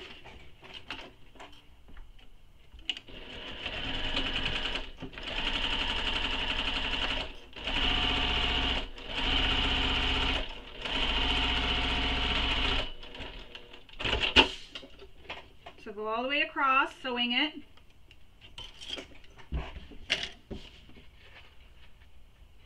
And then you will press this so they are wrong sides together. So I'm just pressing this seam open here. It just helps press that top edge a little bit better.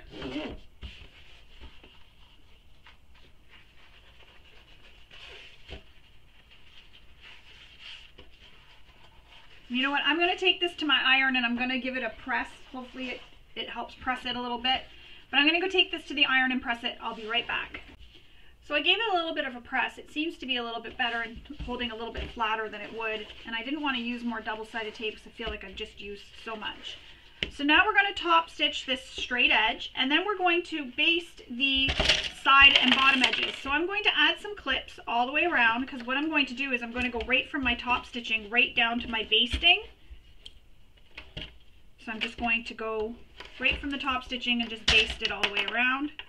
And if you want, you can do the same thing as I mentioned before, which is start in the middle when you're basting the sides and bottom together and go all the way up to the top side and then go back to the middle here and come all the way back around. So with the top stitch length you like to use, top stitch the top edge,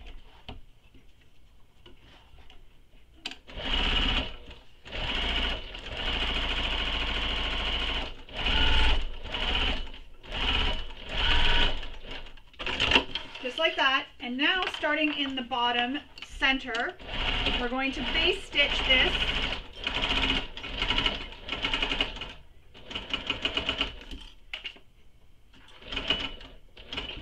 Oh.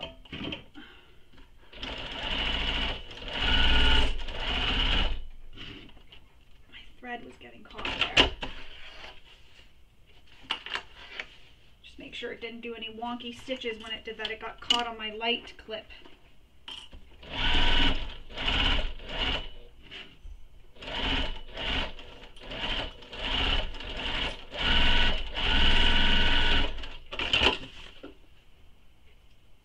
Trim all your little threads.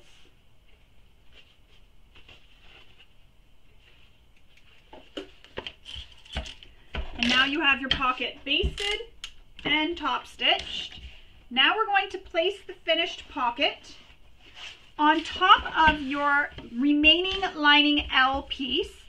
You're going to line up these bottom edges.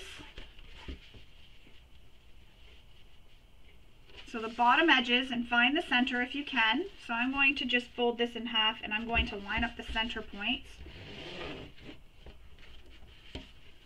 with the center point on the wrong side of my material. So line up the bottom edge, the bottom edge is the edge that has the curve, center marks, and then pin the rest of the way. So up the sides, so pin at the sides here, these top edges. And then we're going to baste this in place all the way around the bottom and up those side edges. And again, you can do the same thing. Start in the center. This will help prevent any shifting so you don't get puckering, say in the center or at the top here.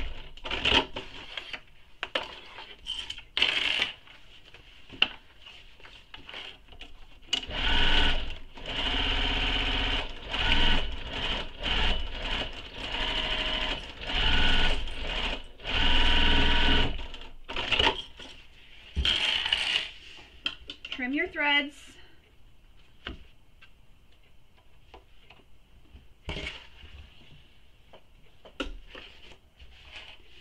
If you wish, you can stitch up the center here to make it a divided pocket, which I think I will. So I'm going to do that now.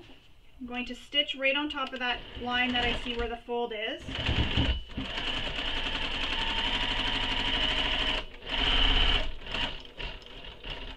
And when I get up to where my top stitching is, I'm going to turn and I'm just going to stitch that way just to create some extra reinforcement at the top. Just like a little Y. It just creates a little Y. I don't know if you could see that, but it just makes a little Y at the top here, which helps reinforce the top of the pocket at the top.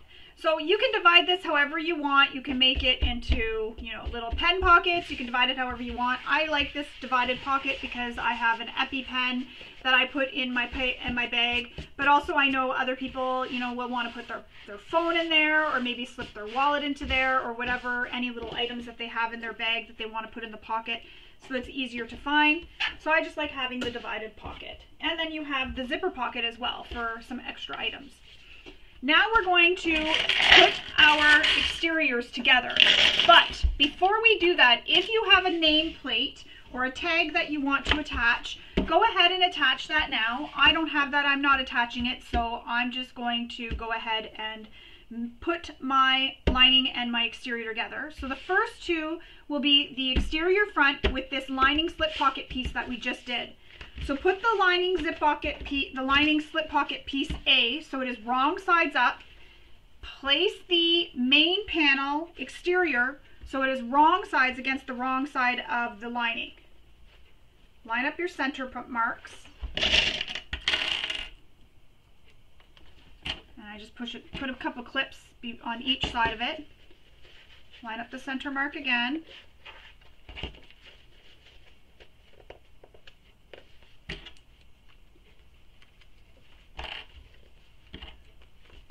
Clip on each side. And then we're just going to pin it the rest of the way around.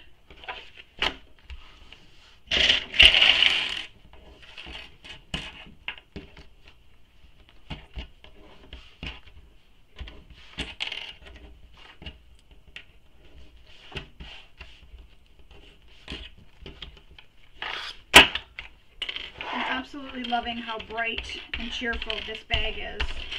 I'm just moving it over because it seems to not be lining up. And I want everything to line up. There we go. Uh, I didn't line up the center points correctly at the bottom here. And what we're going to do is we're just going to baste this in place all the way around. So you're going to sew them together all the way around and the seam allowance is given in the pattern. And while I'm pinning, I'm going to actually pin the remaining exterior and lining together. And I'll just baste them at the same time. Well, not at the same time, one after the other, so I don't have to stop and pin another one. So there's the front. Here's my back. So wrong side down, right side up. The wrong sides are what is touching here.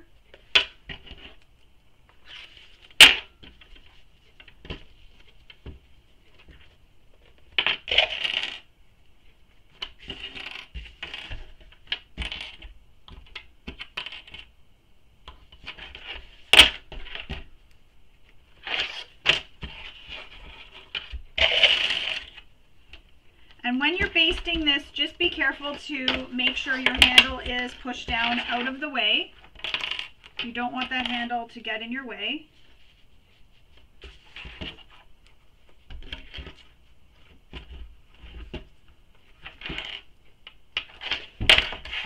You don't want to stitch over the handle.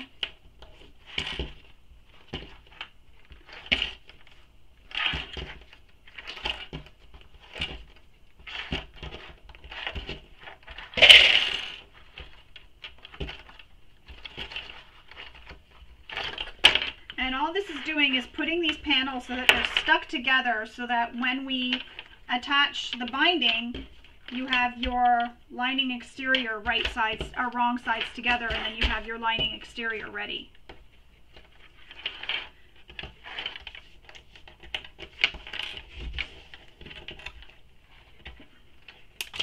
Woo! I don't even know where that went.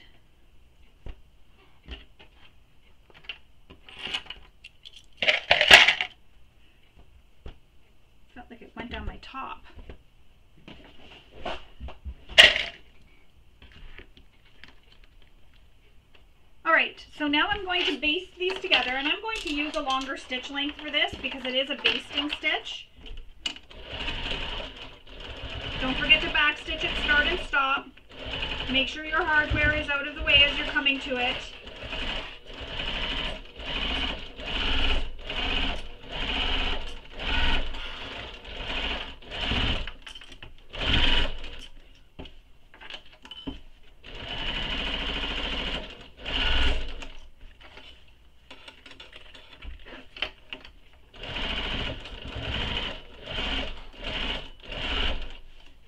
my basting stitching is not the prettiest.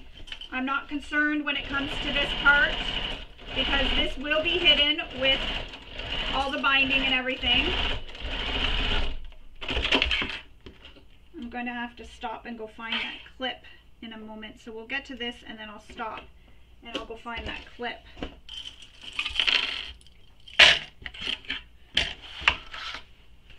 Before Buddy or my other cat Missy find it.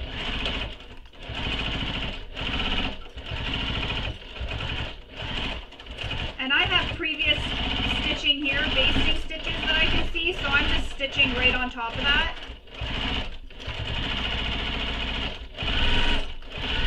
For when we attach that pocket to the front.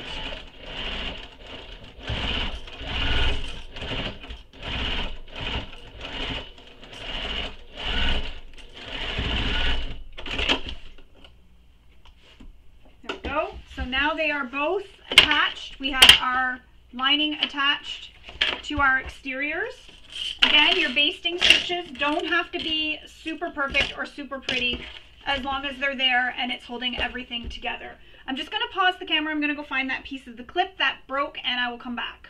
All right, I found it. I'm not so worried anymore about the cats finding it.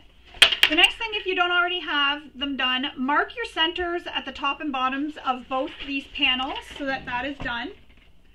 Moving on, we're going to make our main zipper closure.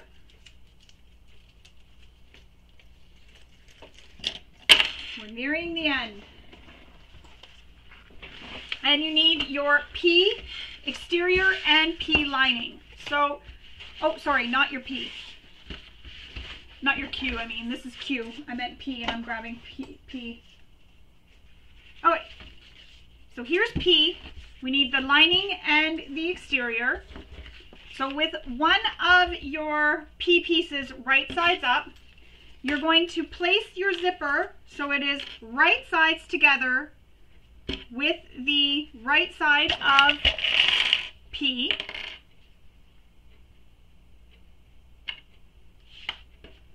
And if you want, what you can do is mark the centers of your zipper so you can get everything all nicely lined up, which is what I think I'm going to do. I didn't mark the centers that way on these ones. I marked them the other way on the uh, panels. And I wish I hadn't. That's okay. You just fold it in half. Find your centers. And you'll notice I do use a pencil. I just use it within my seam allowance. Use whatever marking tool you want on the wrong side of your fabrics.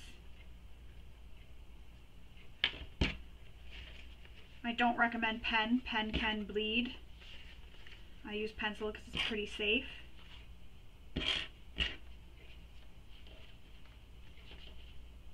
So now I'm just pinning one long edge of the zipper to the top long edge of piece P.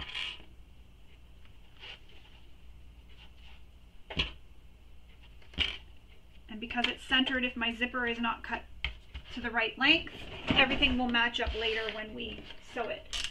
Return your stitch length back to the length you use for stitching. We're going to baste this in place using the seam allowance given in the pattern.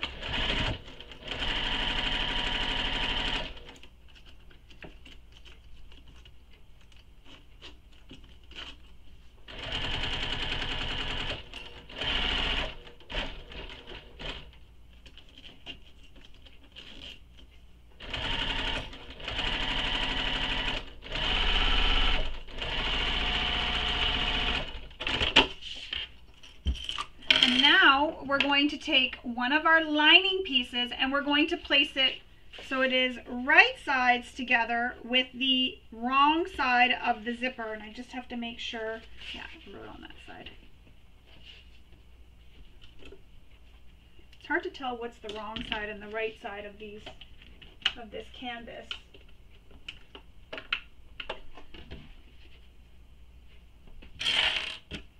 So I'm just pinning it together and I'm not worried about center marks because I can line up the side edges and then pin the rest of the way.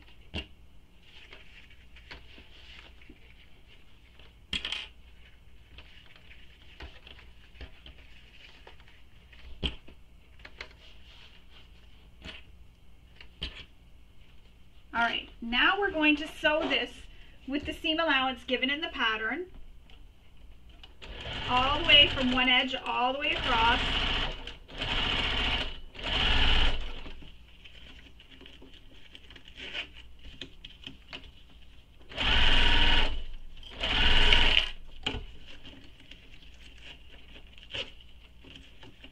just make sure to slide my zippers out of the way.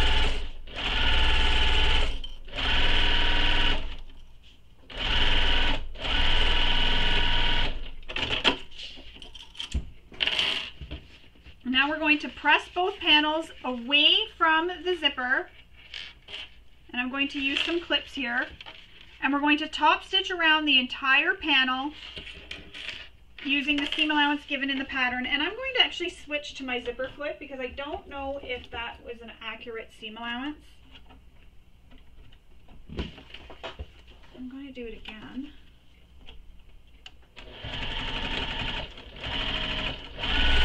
Was slightly off. And we want to be as accurate as possible.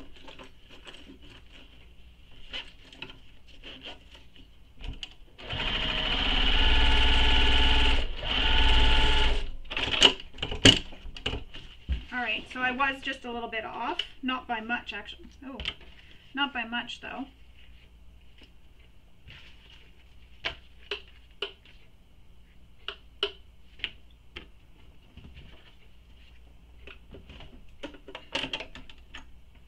And I need to change my bobbin. I ran out right at the end, that's why I had that big thread. So I'm going to go change my bobbin and I'm going to fix that little thing here that keeps falling off. Be right back. Alright, so continuing on with what we were doing, we're now going to press these so they are wrong sides together. And I'm not going to top stitch just yet, but normally you would top stitch all the way around all four sides, but I'm going to wait because I need to switch out my presser foot and I'd rather just do that all at the same time instead of switching back and forth constantly. So I'm just pinning these so that they're out of the way and they're wrong sides together. If you can, you can take this to your iron and press it. And now we're going to repeat that whole process for the second side, the remaining two P pieces. So I'm marking my center points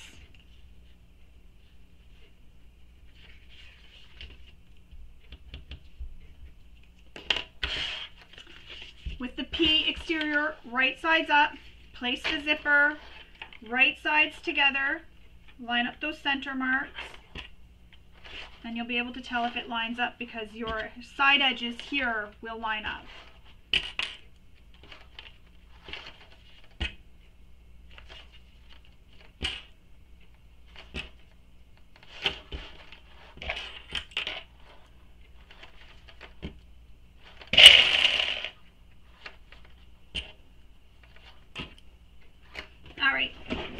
going to sew this with the seam allowance given in the pattern.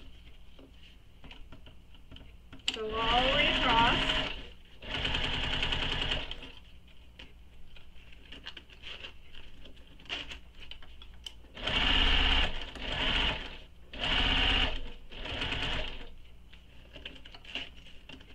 And you'll notice I just keep moving my zipper pulls out of the way. Again, I don't want the bubbling in the zipper tape.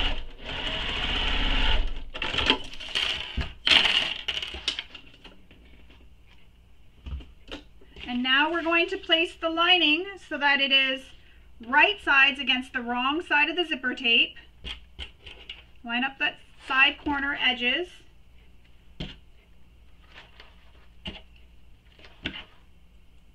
Pin it all the way across. And then we'll stitch this together using the seam allowance given in the pattern.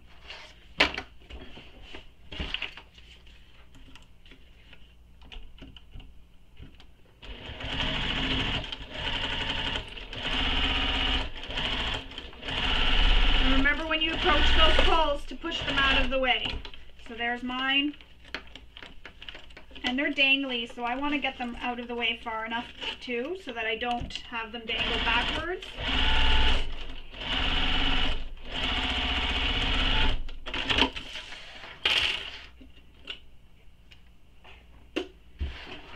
And again, flip them and place them so that they are wrong sides together and clip it all the way around.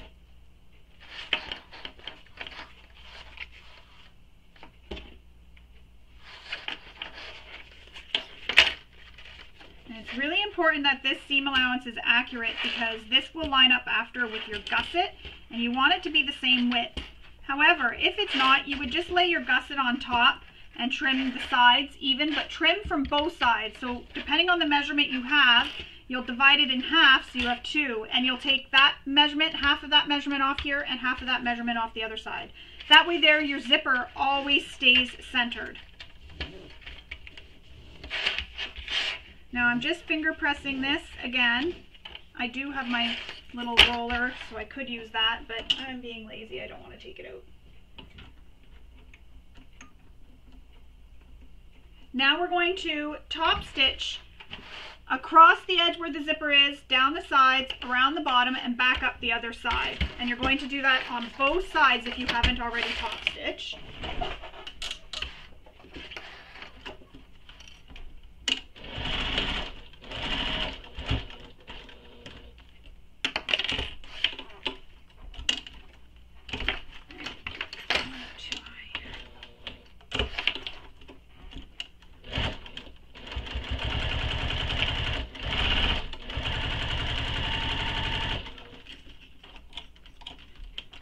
moving my zippers out of the way. Careful not to slide them right off your zipper tape.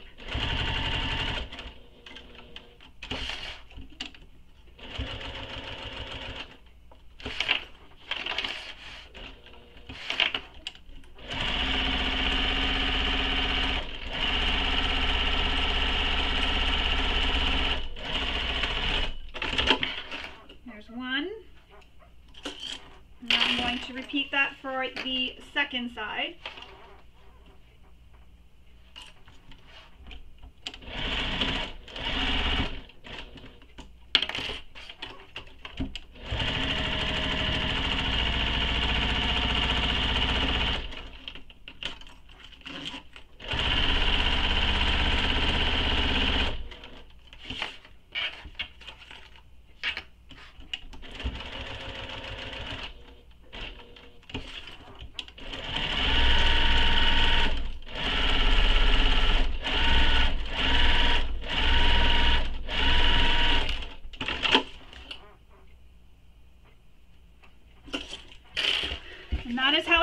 When you have it all done.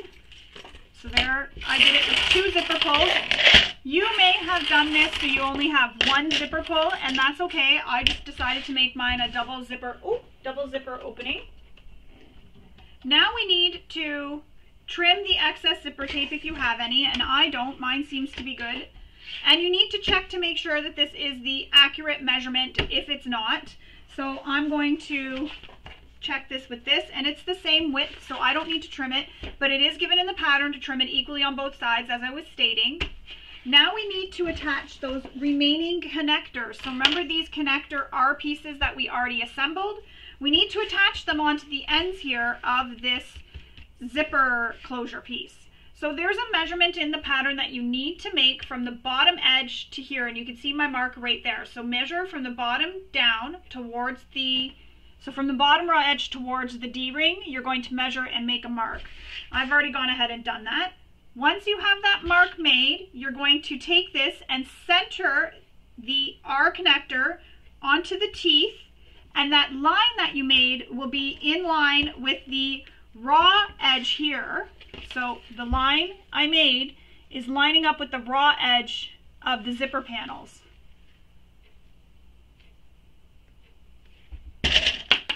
And you're going to do that on both sides. So line it up. Oh, I guess I do have a little bit of extra on my zipper, but I'm going to leave that. That's fine. Needle down, and we're going to baste these in place.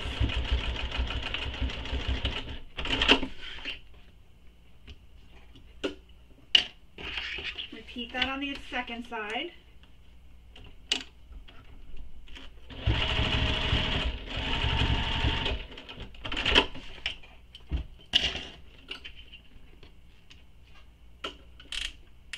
Returning my stitch length back to the length I like to use for stitching. Now we're going to fold this in half and we're going to make the center marks on this gusset. And you'll repeat that for the Q, the piece that I originally grabbed.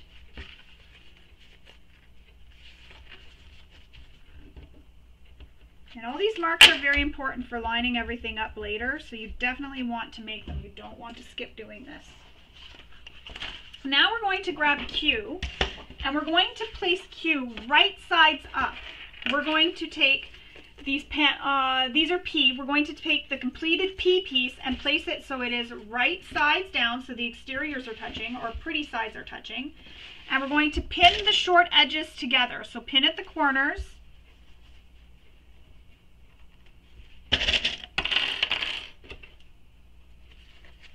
And then pin the rest of the way. Just like that. Then we're going to sew this with the seam allowance given in the pattern. Make sure your D-ring is not down. You don't want to accidentally stitch over that.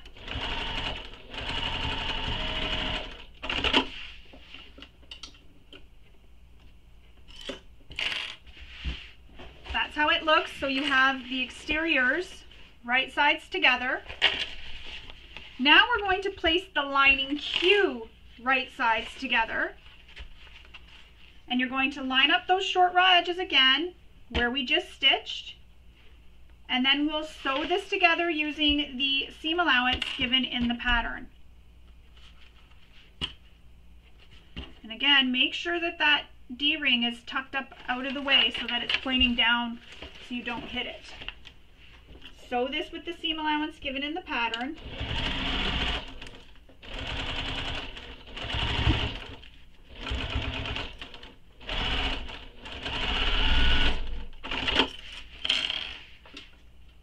Trim your threads. And I just want to see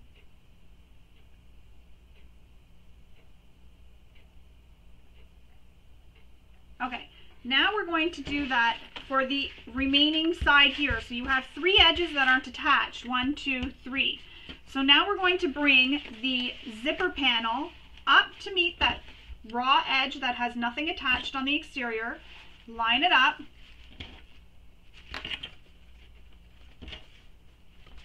And we're going to sew that in place. Again, make sure your D-ring is out of the way sewing along that straight short edge.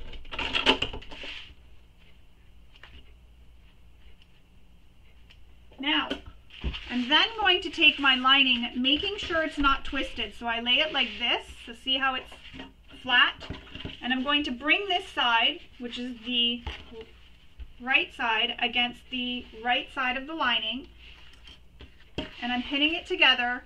And then I'm going to sew that short edge using the seam allowance given in the pattern.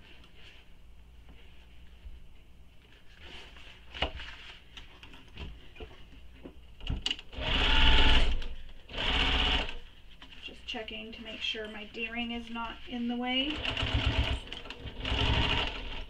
I don't want to cause any damage to my machine or break a needle or anything, so I'm always checking that.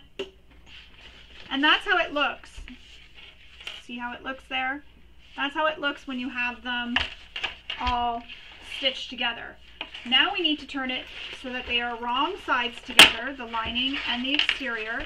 And we're going to top stitch the seams right here on the gusset and seam allowance here. So right under where the zipper panel is. So on the Q piece, is where we're top stitching. And you can press this if you are able to. Take it to your iron and give it a press. I can't, so I'm just flattening it and holding it flat with my hands.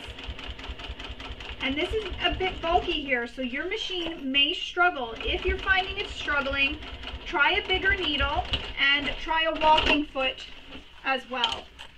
If you're finding it struggling or skipping stitches through that bulk there. Because it can be bulky because you've got the connector and all those layers that you're top stitching through.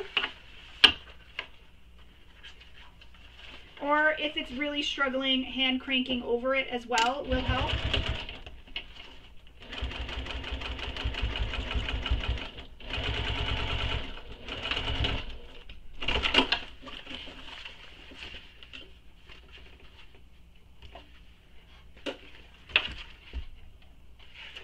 There we go. So now we're going to pin the edges together. I should have did that before, but I didn't. I just went right to the basting, uh, to the top stitching.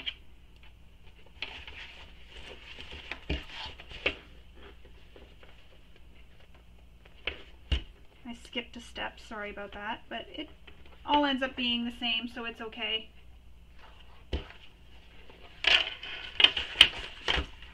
So now we're going to continue pinning that, and once we have it pinned, we're going to baste the gusset Qs together so that these are not left open.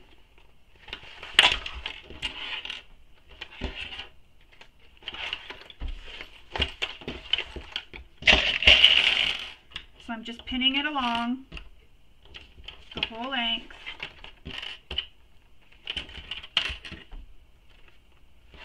And we're actually almost done. It's really exciting when we get to these final stages of the bag.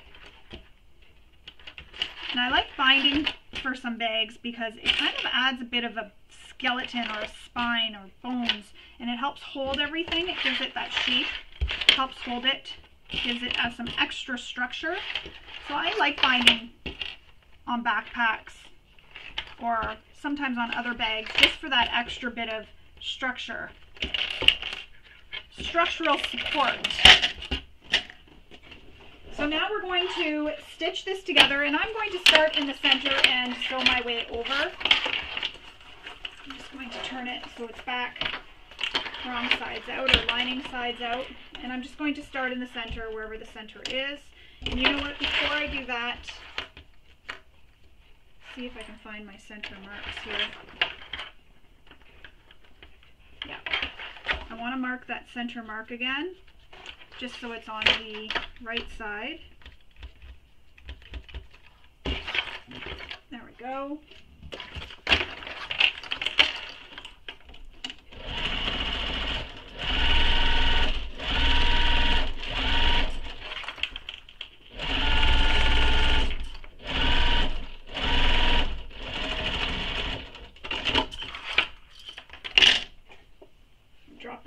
everywhere.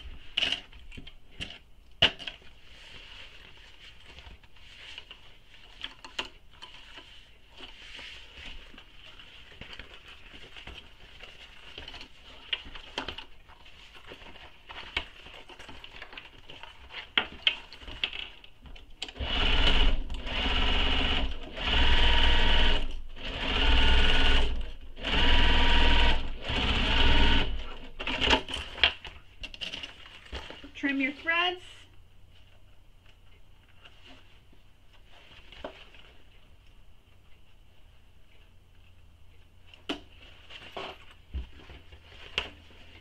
I have a bit of overhang here that I'm going to trim just to make everything even. It's like my corners kind of there. Kind of shifted on me. So now we're going to add some rivets where we are instructed in the pattern. So I'm going to go ahead and add the rivets and then we will come back for the final assembly. So continuing on, we are now going to do the final assembly and then once the final assembly is done, we will then make our straps. So first thing you need to do is grab your front exterior and you need your gusset. And I'm going to stand for this because it's easier for me with a bird's eye view. So with the exterior right sides up, you want your gusset so your lining is facing out. You're going to place it so that the exteriors are right sides together. So line up those center marks at the tops and bottom. And I line up the center mark and I add a couple clips. Oops. Line up the center mark at the bottom.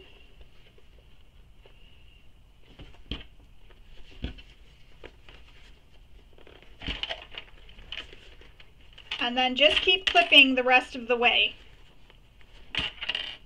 Now, if you used a single zipper pull here, the note that was given in the pattern was that if you're using a single, single zipper pull, the zipper should be at the right when the zipper is closed.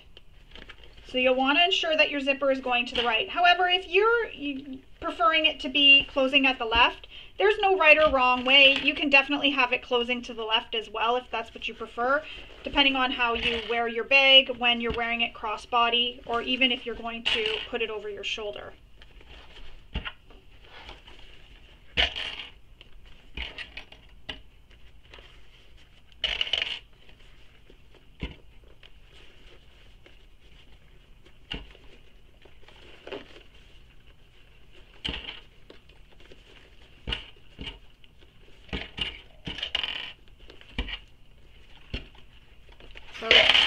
pinning all the way around. And what I'm going to do after I've pinned all the way around, I'm going to end up making some clips, or snips, sorry, in the curved edges here. And that'll help the panel open up as I'm sewing so I don't get any puckers. And just make sure you keep the snips within the seam allowance so that they don't show after, or you don't have any raveling of your uh, material. And I'm just pinning, and you'll notice I start at the top and I pin around and then I get to the side and I sort of stop and then I go over to the bottom or vice versa. That's just to make sure everything is evenly spread apart or shift or dispersed, I guess you could say, so that everything is going to line up in the end. And I'm adding a few more clips just to make sure everything stays together. Nothing shifts on me while I am sewing. All right, so now as I was mentioning, in those curves, I'm going to place some snips just within the seam allowance. And that's just going to help open that up. And these snips will actually be covered later by our binding. Just in the curves.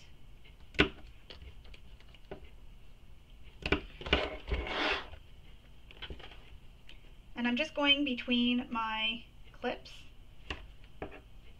So wherever there's a clip, right between them, I do a little snip.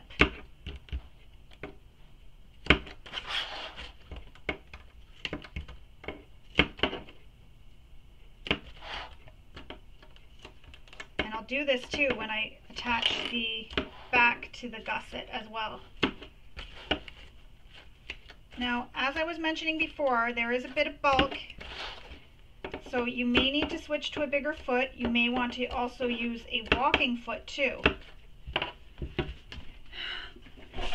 I'm going to use, just trying to roll back into the camera view, I'm going to use my extension cable For some reason today I'm at a loss for words. I can't think think of things. Maybe it's not enough coffee. So I'm using my extension table. That's just to help prevent this from falling off the edge so that it makes it a little bit easier for me to sew. And we're going to sew this with the seam allowance given in the pattern all the way around. And she does mention to um, make those snips like I did. So you'll want to ensure that you've made them. Now if you're worried about your stitches showing later, you can always use a thread that matches your materials and your binding. That'll really help everything blend for you.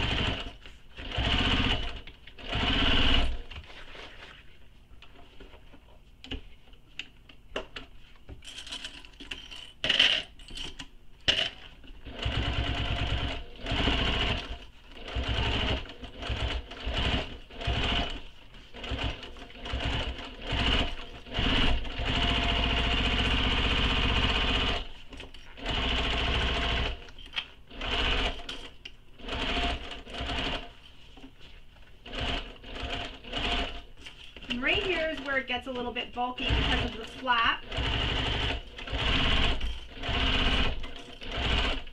But your machine should be able to go through it, especially if you use materials that you know your machine likes. Trim your threads.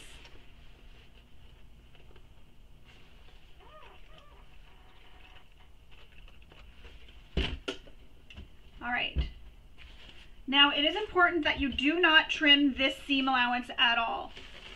Now, I'm going to do the binding of the seam and as mentioned in the pattern, if you prefer to do a different binding than she's given, you can.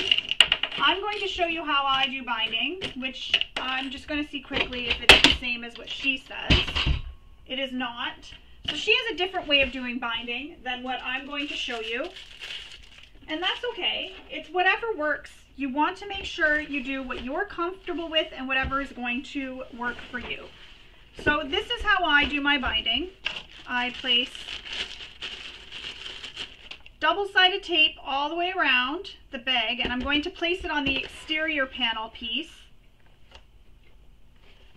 And I'm going to go all the way around within that seam allowance, pretty much right against the edge of the fabrics.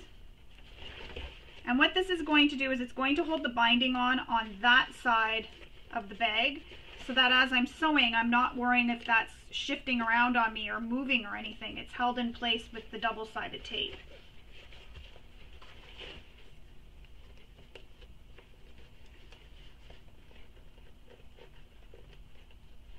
And I'll probably need to stand up again for this final part stuck to me for this final part. Make sure your double-sided tape is pressed down.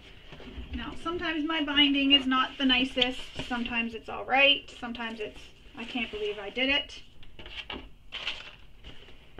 The way I look at binding is you're not really going to see it because it's inside a bag. Nobody really looks there. They're not going to look and see if your binding is nice and perfect, so you don't need to worry about that. So with your binding, I'm going to place it so the center crease of my binding, that center crease will be right with the edge of the fabric here. So the edge of your seam allowance. And I'm just going to do that all the way around.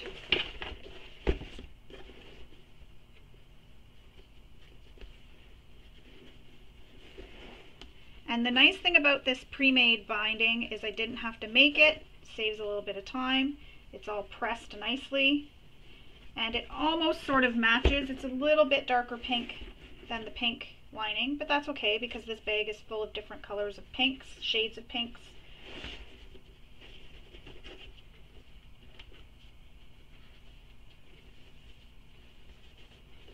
And as you're going, you're just smoothing it on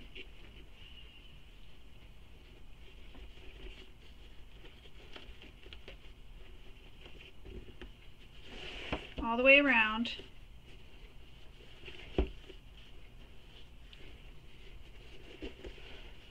And I also have a tutorial on my YouTube channel for binding, as I was mentioning before.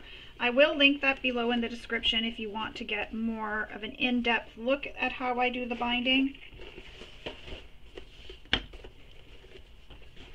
Or you can use the way that's written in the pattern or a way that you know.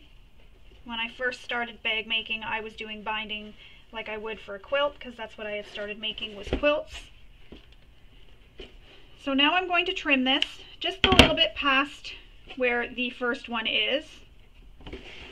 And I'm going to fold it so that there is no raw edge. So I'm going to press that one short edge so that there's no raw edge showing.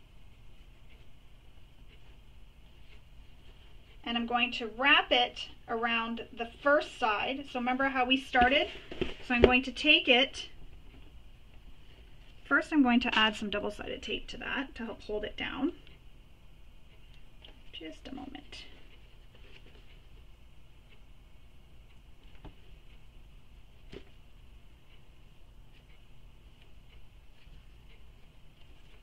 Oops.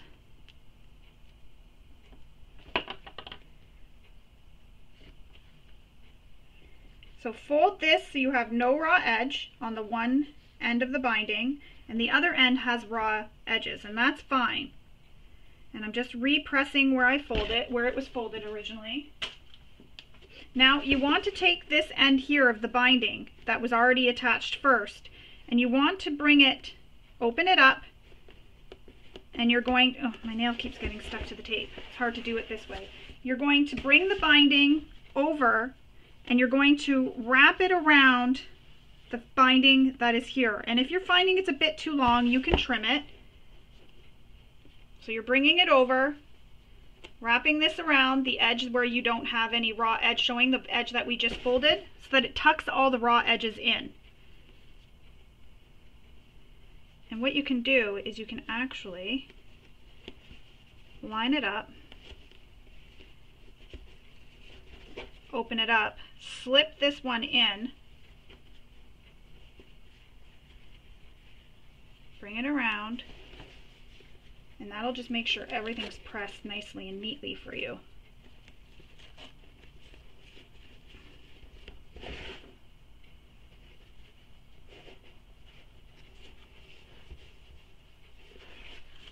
And then when it comes to this side, you're going to do the same thing. Tuck it in, fold it over, and that's how it'll look. And you will have no raw edges. And I'm just going to fix mine a little bit more. I'm not too happy with how it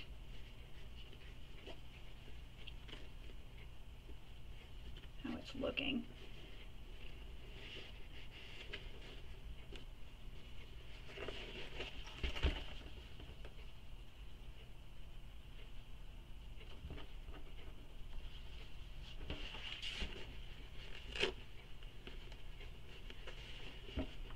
And then I'm going to add a clip so you can see how there's no raw edges. I've tucked it in completely. Now I'm going to clip it all the way around. You can add another row of double-sided tape if you want, but I'm just going to add some clips because I'm going to use my stiletto as I'm going around to help hold it in place as I'm sewing.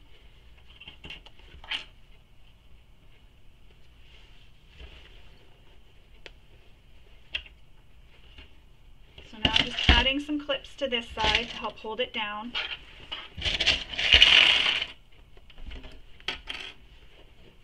And this gives me the opportunity to adjust as well. That's the nice thing about the double-sided tape is it's not perfect, so I just adjust. And if this part of the video is boring to you and you just find it's taking too long, go ahead and fast forward this to the next step when I'm sewing the binding. Or fast forward to the next steps if you're good at binding and you know how to do binding already you're not super concerned about watching this step.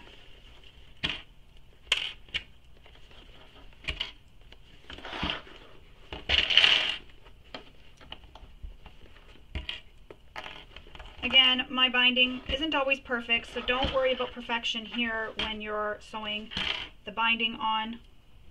Sometimes it's super perfect, sometimes it's not. Nobody really looks at this, especially once the bag is turned out. You really don't see the binding. It kind of all gets folded into itself. So you don't really, oops, you don't really see the binding.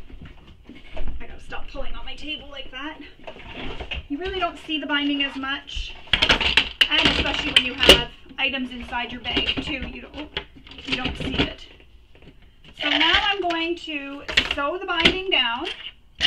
all the way around using the seam allowance given in the pattern.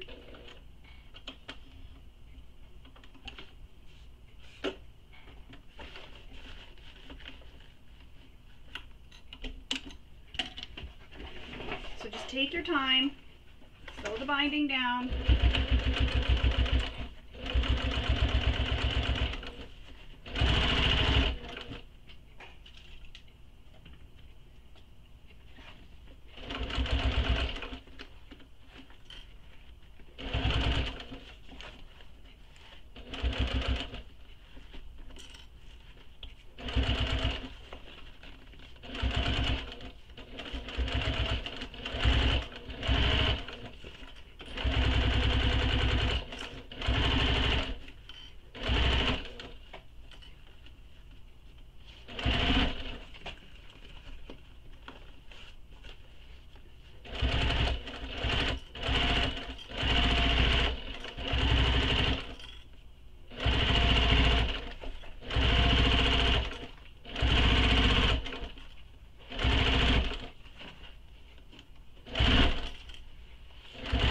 Just try to make sure your corners are as nice as possible.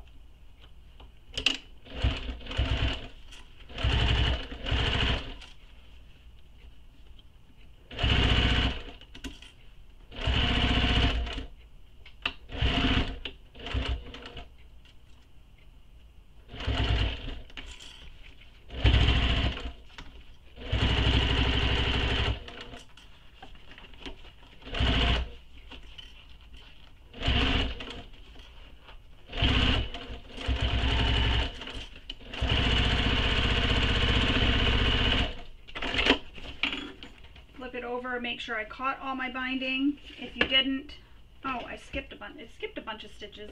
It's really weird. So I gotta go back and sew where it skipped all those stitches at the bottom here for some reason. Don't know why that happened. That's very, very weird.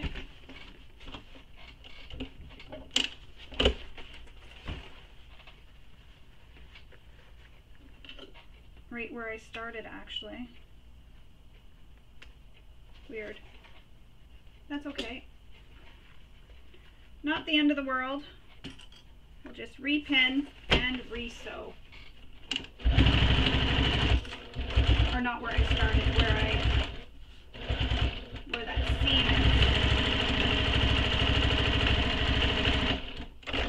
is. And I backstitched over it to make sure there we go. Everything was caught. So it doesn't look as pretty down there, although it doesn't really. Actually it's pretty good because the stitching goes right over top of the ouch the previous stitching. So we're good. So check to make sure you caught everywhere. As you'll notice I did. I've caught all the way around and all the way around there. Now we need to repeat that for the other side and I was going to go off camera to do that so that you don't have to sit and watch me do that a second time. Basically, you're going to repeat everything you just saw me do. Same thing, pin this right sides together and then do your binding all the way around. I'm going to go off camera because I don't feel you need to sit and watch me do that. If you need to rewatch that, you can rewatch that whole thing that I just did for the first side. There's also going to be that little tutorial, but again, I don't want this tutorial to be too long, so I'm going to go off camera to do the second side, and then I'll come back and we will continue on. Alright, so I went ahead and did the binding on the second side. So now we can turn this right sides out. And this is where I might have a hard time, hopefully not.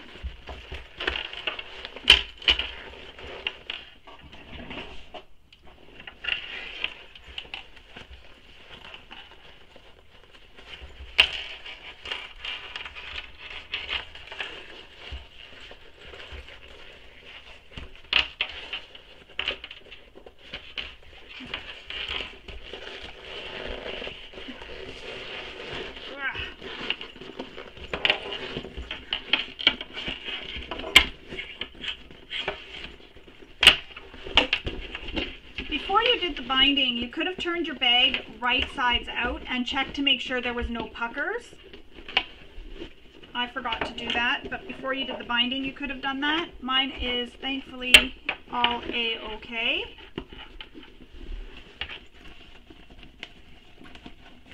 So we're just pushing out where the binding is. You're just giving it a really good push out because we can't really press, you could, you could press it, but I can't because, well, I use vinyl my whole bag.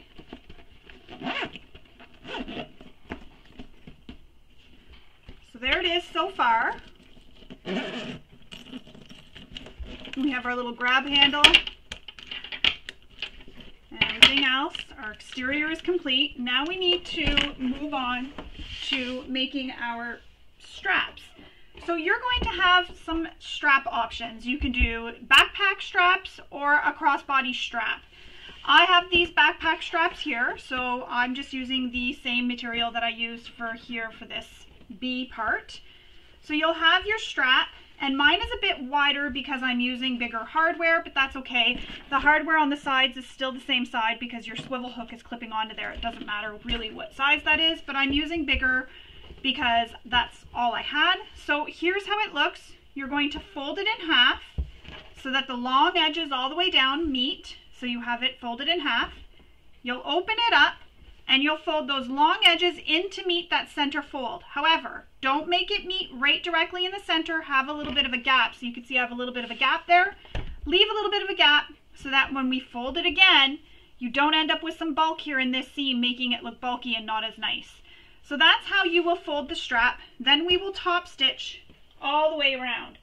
And I'm not going to turn those ends under because I'm going to use some strap end hardware on the end here. So I'm going to leave that end raw because my strap end hardware will cover that after. So I'm just going to stitch all the way around.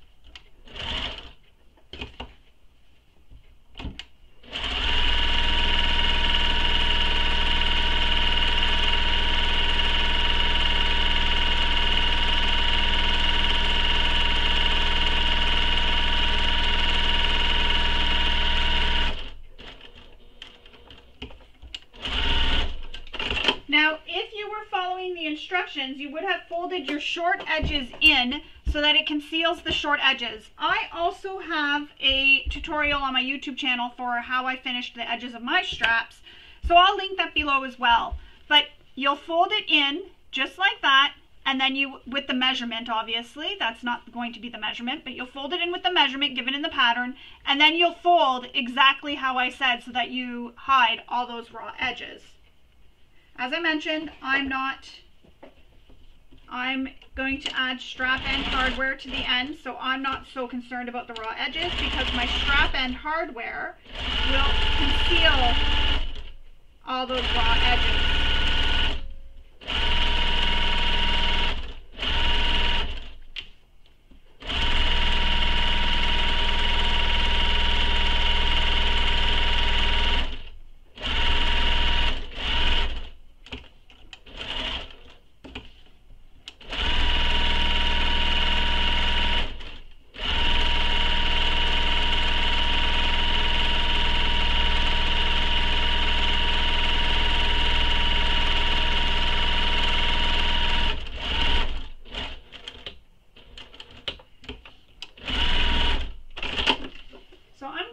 give my straps a little bit of a press just because sometimes I find that they get a little bit twisted. As you can see, they're twisted. And that's what I should have done was stopped at one, started at one end, went all the way down to the other end, and then came back and started back up here. But I just went all the way around. So I'm going to go and give these a press and I'll come back and we will add our hardware to one of them and then the other one I'll do off camera. All right, so I went ahead and installed the hardware on the two backpack straps, so they're already done. But I have my crossbody strap here still that I can show you how to install your hardware. And I'm also installing the strap ends, so I will show you how to do that. Now, it can take a little bit of time because the screws are really small and I have a hard time um, holding them, but I'll try to go as fast as I can. So first thing we need to do is get out our slider and you're going to put your slider onto your strap. So this is the wrong side because I made this strap double-sided and I'll link below how I make my straps double-sided so that you can make it double-sided if you want and if you don't then you can just follow the instructions in the pattern for making the strap. Now the double the crossbody strap is cut in two pieces so you will sew the two short ends together press it open, and then sew the other two short ends together for the second piece if you've decided to do two pieces like I did. If you are double-sided, sorry. If you are just doing one whole long strap in one color like I did for the backpack straps, then you only have to sew one short end together because you don't have four straps like I did here to make them double-sided. So you would short, sew one short end together, right sides together, press it open, and then press your strap the way I showed you how to press the strap for the backpack strap. So for your slider, again, I'm going to place this, so slide it up and over the middle bar and back down so that it looks like this. And I'm using a big swivel hook because, or slider because I have some bulk here where I joined the two pieces together. So I'm using a bigger one so that I know it will fit. Now I need to install this little strap end. So I'm going to grab out the strap end.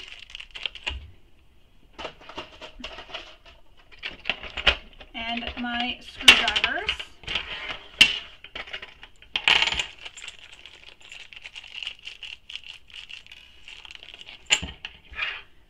So what you do is you take the strap end and you slide it on so there is a wrong side and right side of the strap end. The wrong side is the side that's going to have the screws. So if you're doing like I did a double-sided strap, choose which side you want to be on the exterior and what side you want to be on the lining or wrong side. And that actually went well, so maybe it won't take me as long. Sometimes the screws I kind of figured it out when I was making the backpack straps, how to get it so that it doesn't do what it just did there. Because unfortunately these screwdrivers are not magnetic. Yeah, now it's happening. It's hard for me to hold these two.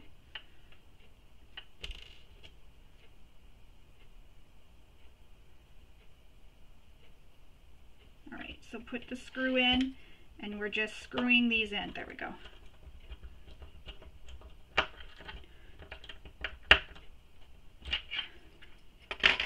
So the screw is screwed in. Now you're going to either sew this across here or add a rivet and I'm going to add a rivet so I'm just going to quickly punch a hole here with my punch so this is my tabletop press and I'm just adding a hole centered.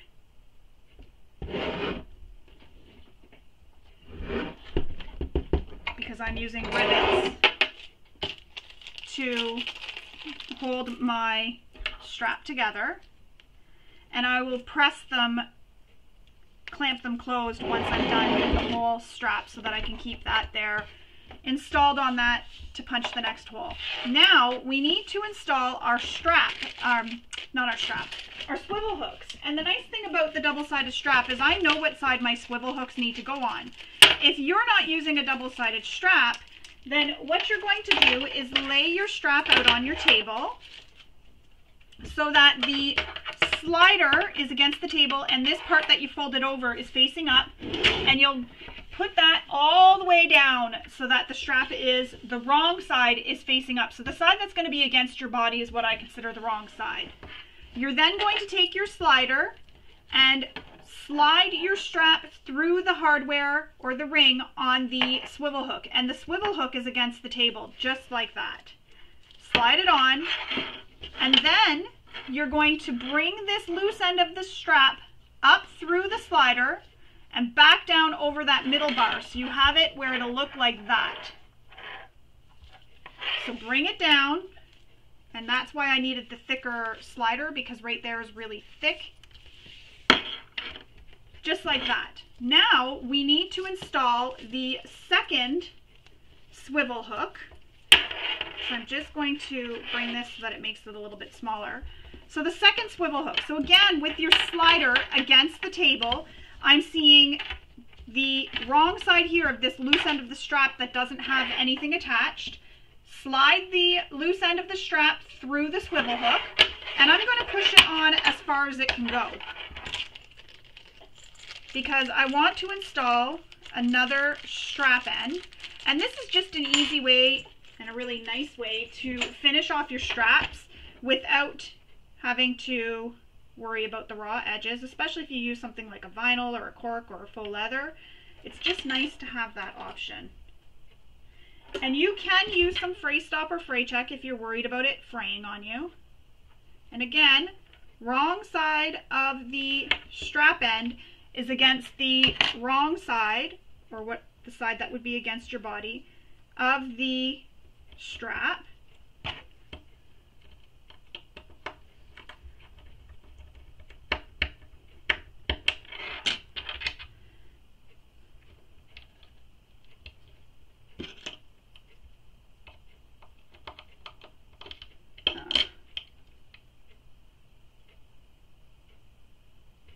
I'm glad this is the last one.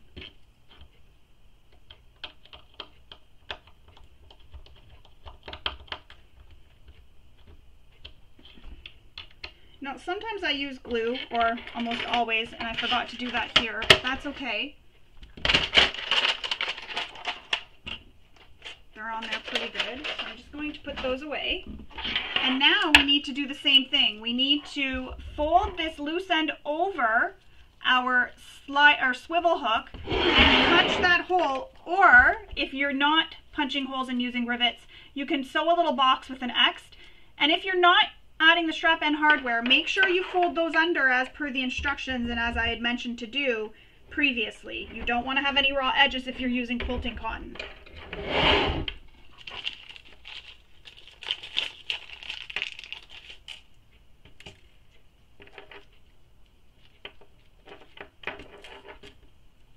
And I have a little tutorial on my YouTube channel for how I do straps if you aren't using webbing, if a pattern calls for webbing, but it really goes into a lot of detail for how I make my, how to do straps.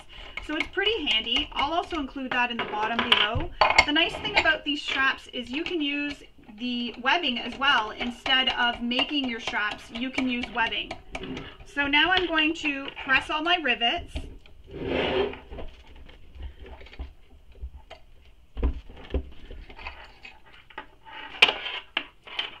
I'm just pressing them.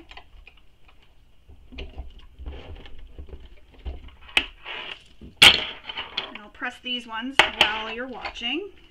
So that's how you use my rivet press. That's what I do.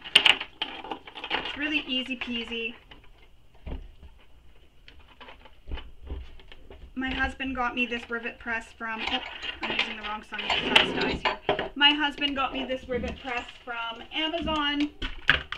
I want to say five years ago now.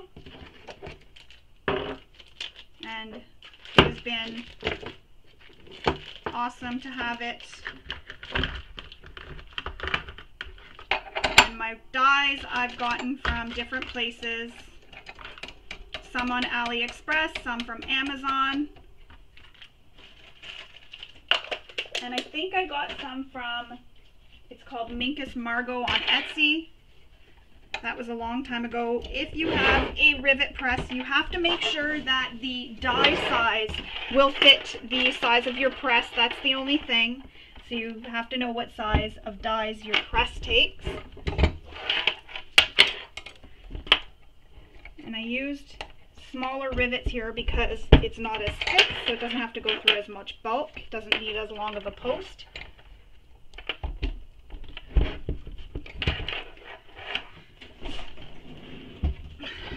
So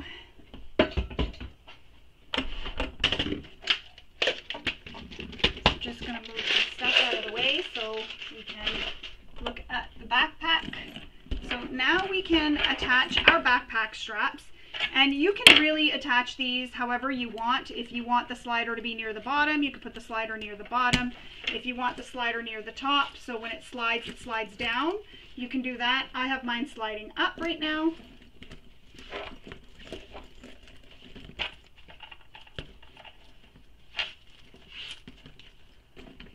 So you just clip them in place. So now you have a backpack. Or you can clip your side strap, your strap to the sides here. And you have a crossbody strap or tighten it and you can make it into a shoulder bag. Tighten it as tight as you want it to go and it can be a really nice shoulder bag. So there, there you have it. We have completed our Riva mini backpack with all its features, including this really nice flap twist lock, kind of extra security for anything you want to put in there. You won't lose it. You have your backpack strap or your strap here for crossbody. So it makes it sort of a convertible bag, which is awesome. You're now ready to take this out and show it off to the world. But before you do, don't forget to take some photos and post them on social media so we can see them. Use the hashtags that are given in the pattern so we can easily find all your beautiful Riva mini backpacks and ooh and ah at them with you. I do hope you enjoyed sewing along with me and maybe picked up a few tips and tricks along the way. Thank you for sewing with me. I hope you all have a wonderful day. Bye.